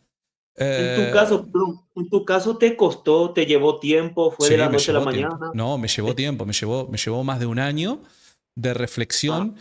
Y lo que yo agradezco a Dios es que desde mi humilde punto de vista, y eso fue algo aplicable de forma exitosa para mí, no quiere decir que sea para el resto, yo lo creo que comencé desde el principio, desde lo que es fundamental. Y la teología protestante, independientemente de a qué denominación vos te suscribas, la teología protestante se sostiene sobre el principio de la sola escritura. Pero si el principio de la sola escritura es falso, ya eh, lo que sigue del edificio no tiene mucho, no tiene mucha, no es muy confiable que digamos, porque el principio o el método por medio del cual yo conozco la verdad revelada es falso. Entonces, las conclusiones que, que dependen de este, de este principio no son muy confiables que digamos. Entonces, yo al reconocer que la sola escritura eh, no, era, no, no, no, era bíblica, ahí de repente me costó menos aceptar otras cosas que no creía antiguamente. Eh, cuando, te, cuando hablas de eso, te referí a que no solo la escritura es inspirada por Dios, sino que hay otra, otra cosa aparte. No, no, no, no, no inspirado por Dios. No, no, inspirado por Dios no. Porque eh, en, este caso lo que el católico va a afirmar es que los autores de estos documentos, 27 documentos hablando del Nuevo Testamento, que fueron, eh, que fueron incorporados al canon o que son el canon del Nuevo Testamento, eh, son los autores, los inspirados en el momento de redactarlos. Pero no pasa así con la tradición, porque no es que hay autores inspirados en la tradición, no. Lo que se dice respecto a la tradición es que Dios por su Espíritu Santo, se encarga de esa fe inicialmente comunicada por medio de la vía oral, Dios es el encargado de preservarla en el corazón de la iglesia, de tal forma que, sabiendo que las, generaciones futuras pueden corromper dicha tradición, el Espíritu Santo en medio de la iglesia es lo que nos garantiza que la tradición cristiana se sostiene con el pasar del tiempo y con el pasar de las culturas. Eh, y, así también, hablando del magisterio y conociendo qué es lo que Cristo prometió a la iglesia, eh, es que creemos que el Espíritu Santo asiste de alguna manera a las autoridades de la iglesia para que no caigan en el error a la hora de comunicar la fe cristiana al pueblo pastoreado. Entonces, no es que se cree en la inspiración eh, de, los obispos o cosas por el estilo, no, en absoluto. Pero se cree que el Espíritu Santo, Dios, eh, los asiste de tal forma que los preserva del error. Em, tipo, confiar en la tradición eh, no sería algo peligroso. ¿En qué sentido, Santi? ¿En qué podría ser un teléfono cortado? Digo, por la distancia de eh, la época, ¿verdad? La historia, y eso pasa de boca en boca, ¿verdad? Y no, no hay ese, ese riesgo de que, en cambio, lo escrito tipo que es más seguro. Pero acá, hermanito, eh, yo estoy completamente de acuerdo con vos, ¿eh? Estoy completamente de acuerdo. Confiar en una tradición oral es riesgoso porque en la medida en la que van pasando las generaciones, la esencia de la tradición en el inicio comunicada, al principio comunicada, puede corromperse. Estoy completamente de acuerdo con esa idea y con ese peligro, hermano. Acá el factor fundamental que estás olvidando es el Espíritu Santo. Porque en la medida en la que comunidades intenten de generación en generación preservar una tradición por sus propios medios, con sus propias fuerzas, valiéndose de su propio intelecto o capacidad humana, corremos el riesgo de que la tradición se corrompa. Pero cuando el Espíritu Santo es el que se encuentra presente para proteger a la iglesia, de tal forma que ya no somos solamente personas que han tomado la iniciativa de cuidar la tradición, sino que además es el Espíritu Santo que nos ayuda asistiéndonos para que esto pueda llevarse a cabo, ahí la cosa cambia. De la misma manera que, si vos te pones a pensar, a la hora de transmitir de generación en generación documentos escritos, también se podrían corromper. ¿Cuál es la razón por la que vos crees que no se ha corrompido la Biblia? Porque Dios la ha protegido. Esa es la razón, que yo también la creo. La Biblia no se ha corrompido pese a la transmisión generacional de dos mil años, es porque Dios la ha protegido. Bueno, eso mismo, eso mismo es lo que el católico cree respecto a la tradición. No que por capacidad propia humana no se corrompió, sino que porque el Espíritu Santo asiste a la iglesia de tal forma que nos garantiza de que ese error no va a estar presente. Santi, sé que dijiste media hora, ¿verdad? Y también no quiero me quedan 10 minutitos, me quedan 10 minutitos, tranquilo. Entonces, tengo tres preguntas. Em, eh, dos, tres, tres eh, cortitas. Número, número uno es, ¿vos, ¿vos crees que la iglesia fue evolucionando en dogma, en doctrina? ¿A qué me refiero? Que veo que había cosas, y refiriéndome a la iglesia católica, que antes eh, como que no se creía o como que no era dogma, pero hoy sí es dogma. En ese caso, ¿cómo vos ver la guía del Espíritu Santo, la injerencia del Espíritu Santo en el magisterio para que cosas que antes no se hacía se haga ahora? Hubo una evolución, hubo una revelación que, que, era para esta época, eh, como se dice, la nueva revelación, como se usa mucho en el pentecostalismo. Eh, ¿Cómo, eso pensaba que es? Dependiendo de lo que quieras decir con evolución. Si evolución lo, si el término evolución lo utilizas en el sentido de, las ciencias eh, biológicas, ¿no? La evolución de las especies, bueno, en ese sentido hay un cambio en la esencia de la cosa. Entonces, en ese sentido no hay evolución. ¿Por qué? Porque el católico va a asumir de que es la misma fe eh, que, se preserva a lo largo de las generaciones. Si vos significás la palabra eh, evolución como profundizar o perfeccionar algo que ya era creído, pero que se van descubriendo cosas nuevas, no distintas, pero sí más profundas y más perfectas, ahí yo podría estar de acuerdo. Entonces, eh, en ese último sentido de la palabra, perfeccionar un conocimiento recibido desde el principio, pero quizás más ampliamente conocido con el pasar del tiempo? Claro que sí. En ese sentido, sí. Progresó el conocimiento que tenemos respecto a la revelación, pero la revelación es la misma y la esencia del contenido es el mismo. Digo por el hecho de hacerse dogmas, eh, eh, varias, eh, un caso, un caso que todos conocemos, el tema de la justificación, ¿verdad? La tardanza para hacerse dogma sobre la, la, doctrina la justificación en la Iglesia Católica. Me refiero a eso, fue evolucionando el, conocimiento, se tenía ya ese conocimiento primitivamente o de repente hubo una revelación del Espíritu Santo y donde el magisterio de la iglesia dijo, ah, ok, esto es así, pues hagamos los dogmas. Pero es que acá donde hay un punto importante y es el tema de, bueno, es que la iglesia comienza a creer algo cuando se dogmatiza, cuando se hace dogma ese algo. Pongámonos a pensar respecto a Cristo.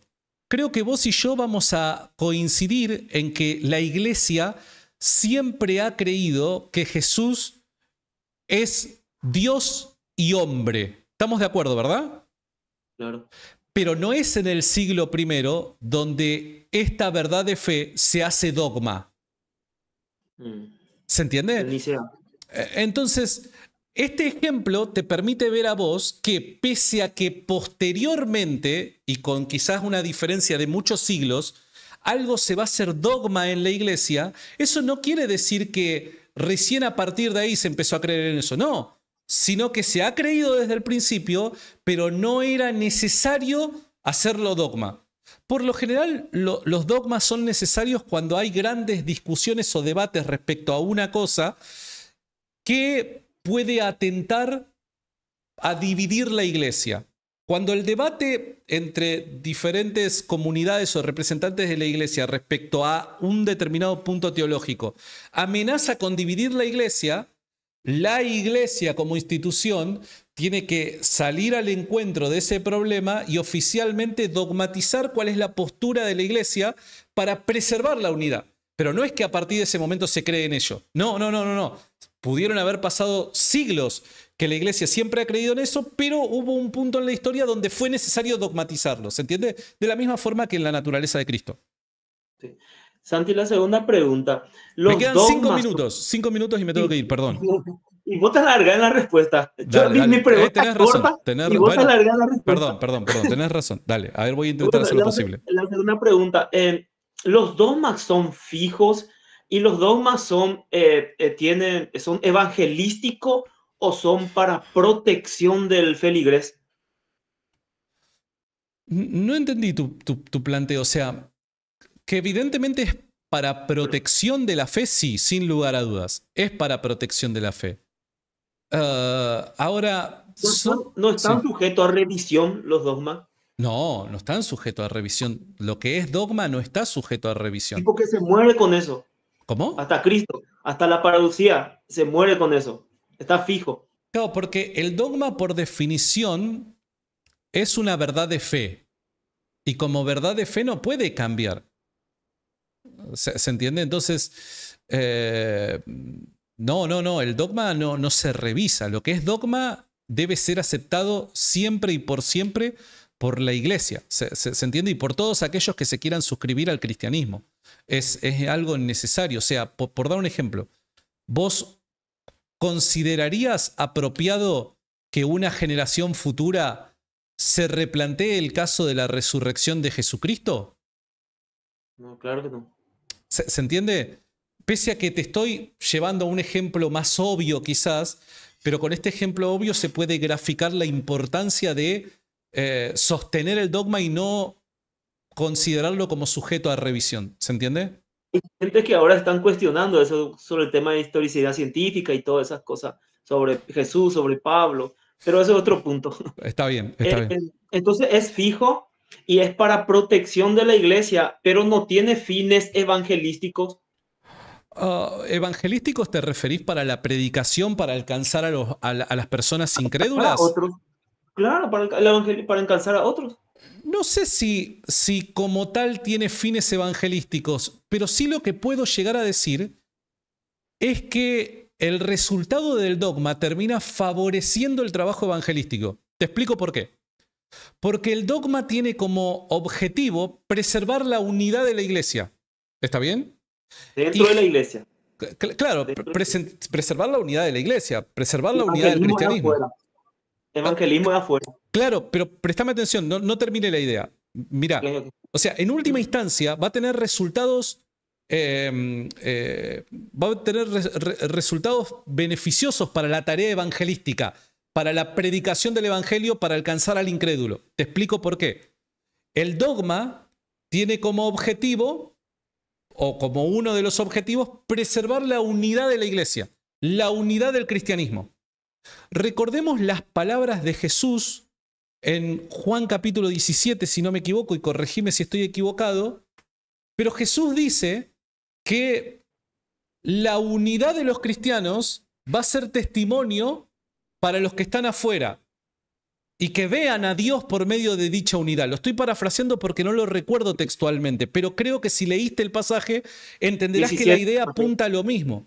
La unidad de los cristianos le muestra a un mundo incrédulo la verdad de la fe. Por ende, pese a que el dogma no va a tener quizás como objetivo una relación o, algo directo con la evangelización, va a ser muy útil para poder evangelizar. ¿Por qué? Porque ante los ojos del mundo va a haber un cristianismo unido a través de su fe.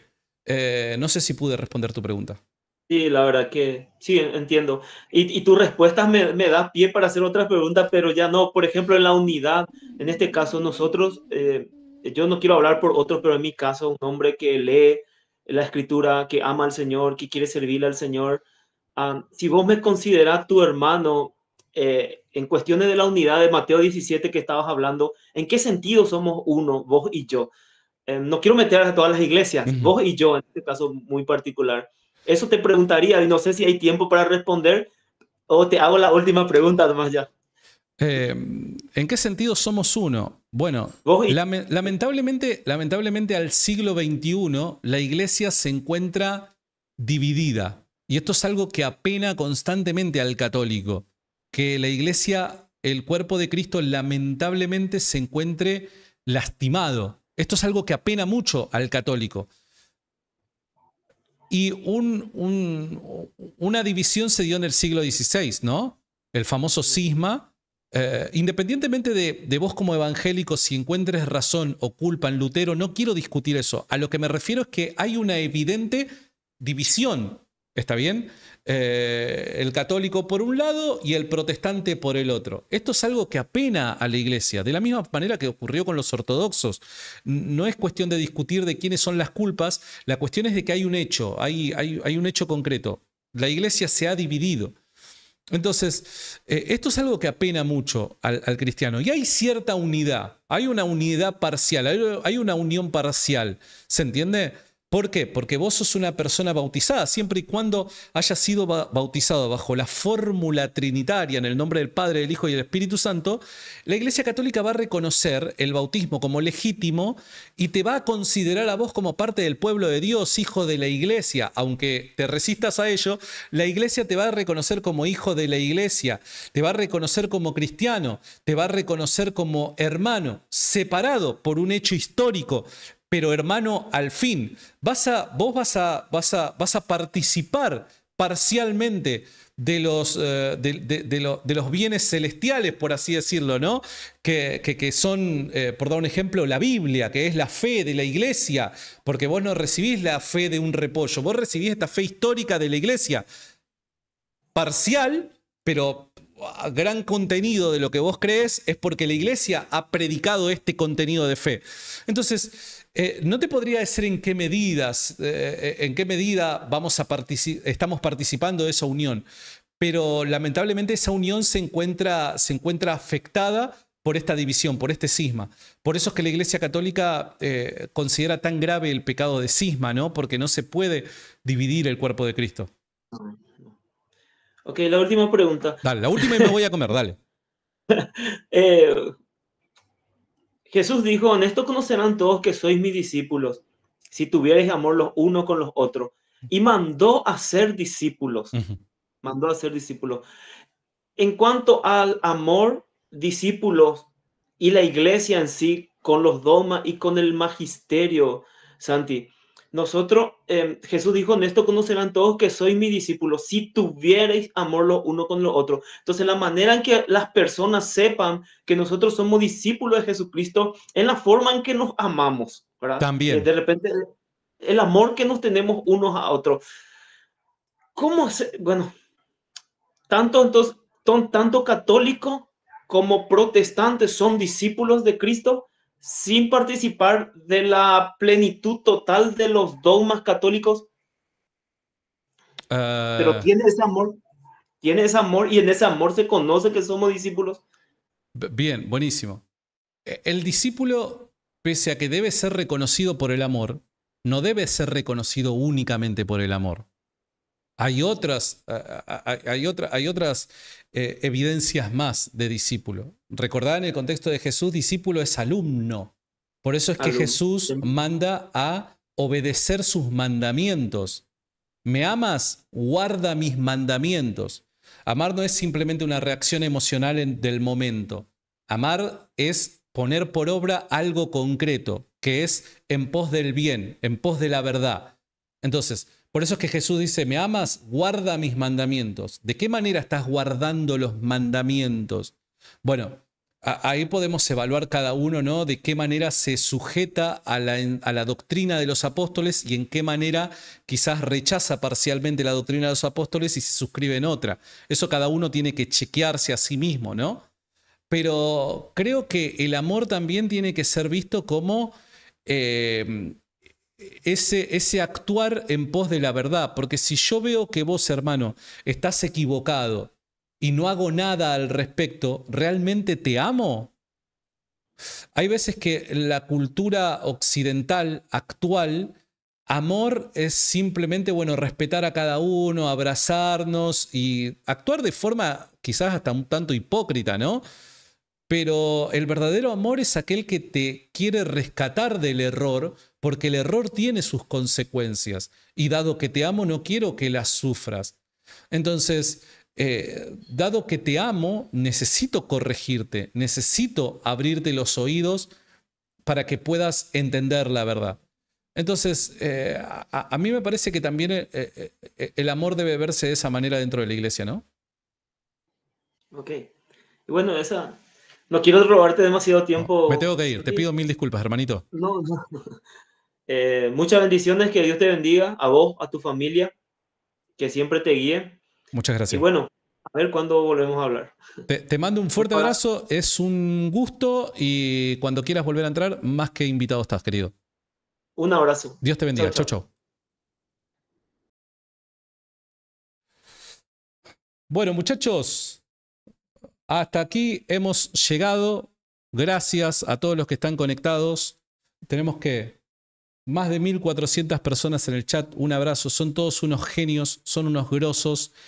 Eh, gracias a todos por los superchats que han enviado. Algunos no se han oído, sepan disculpar. eh, y los perdí, si no los leería. Los quiero, de verdad, y les agradezco mucho por eh, todo el aguante que, nos, que, me hacen de forma diaria. Les mando un abrazo enorme, me tengo que ir porque la comida me parece que ya está lista. Dios los rebendiga, chicos. Chau, chau.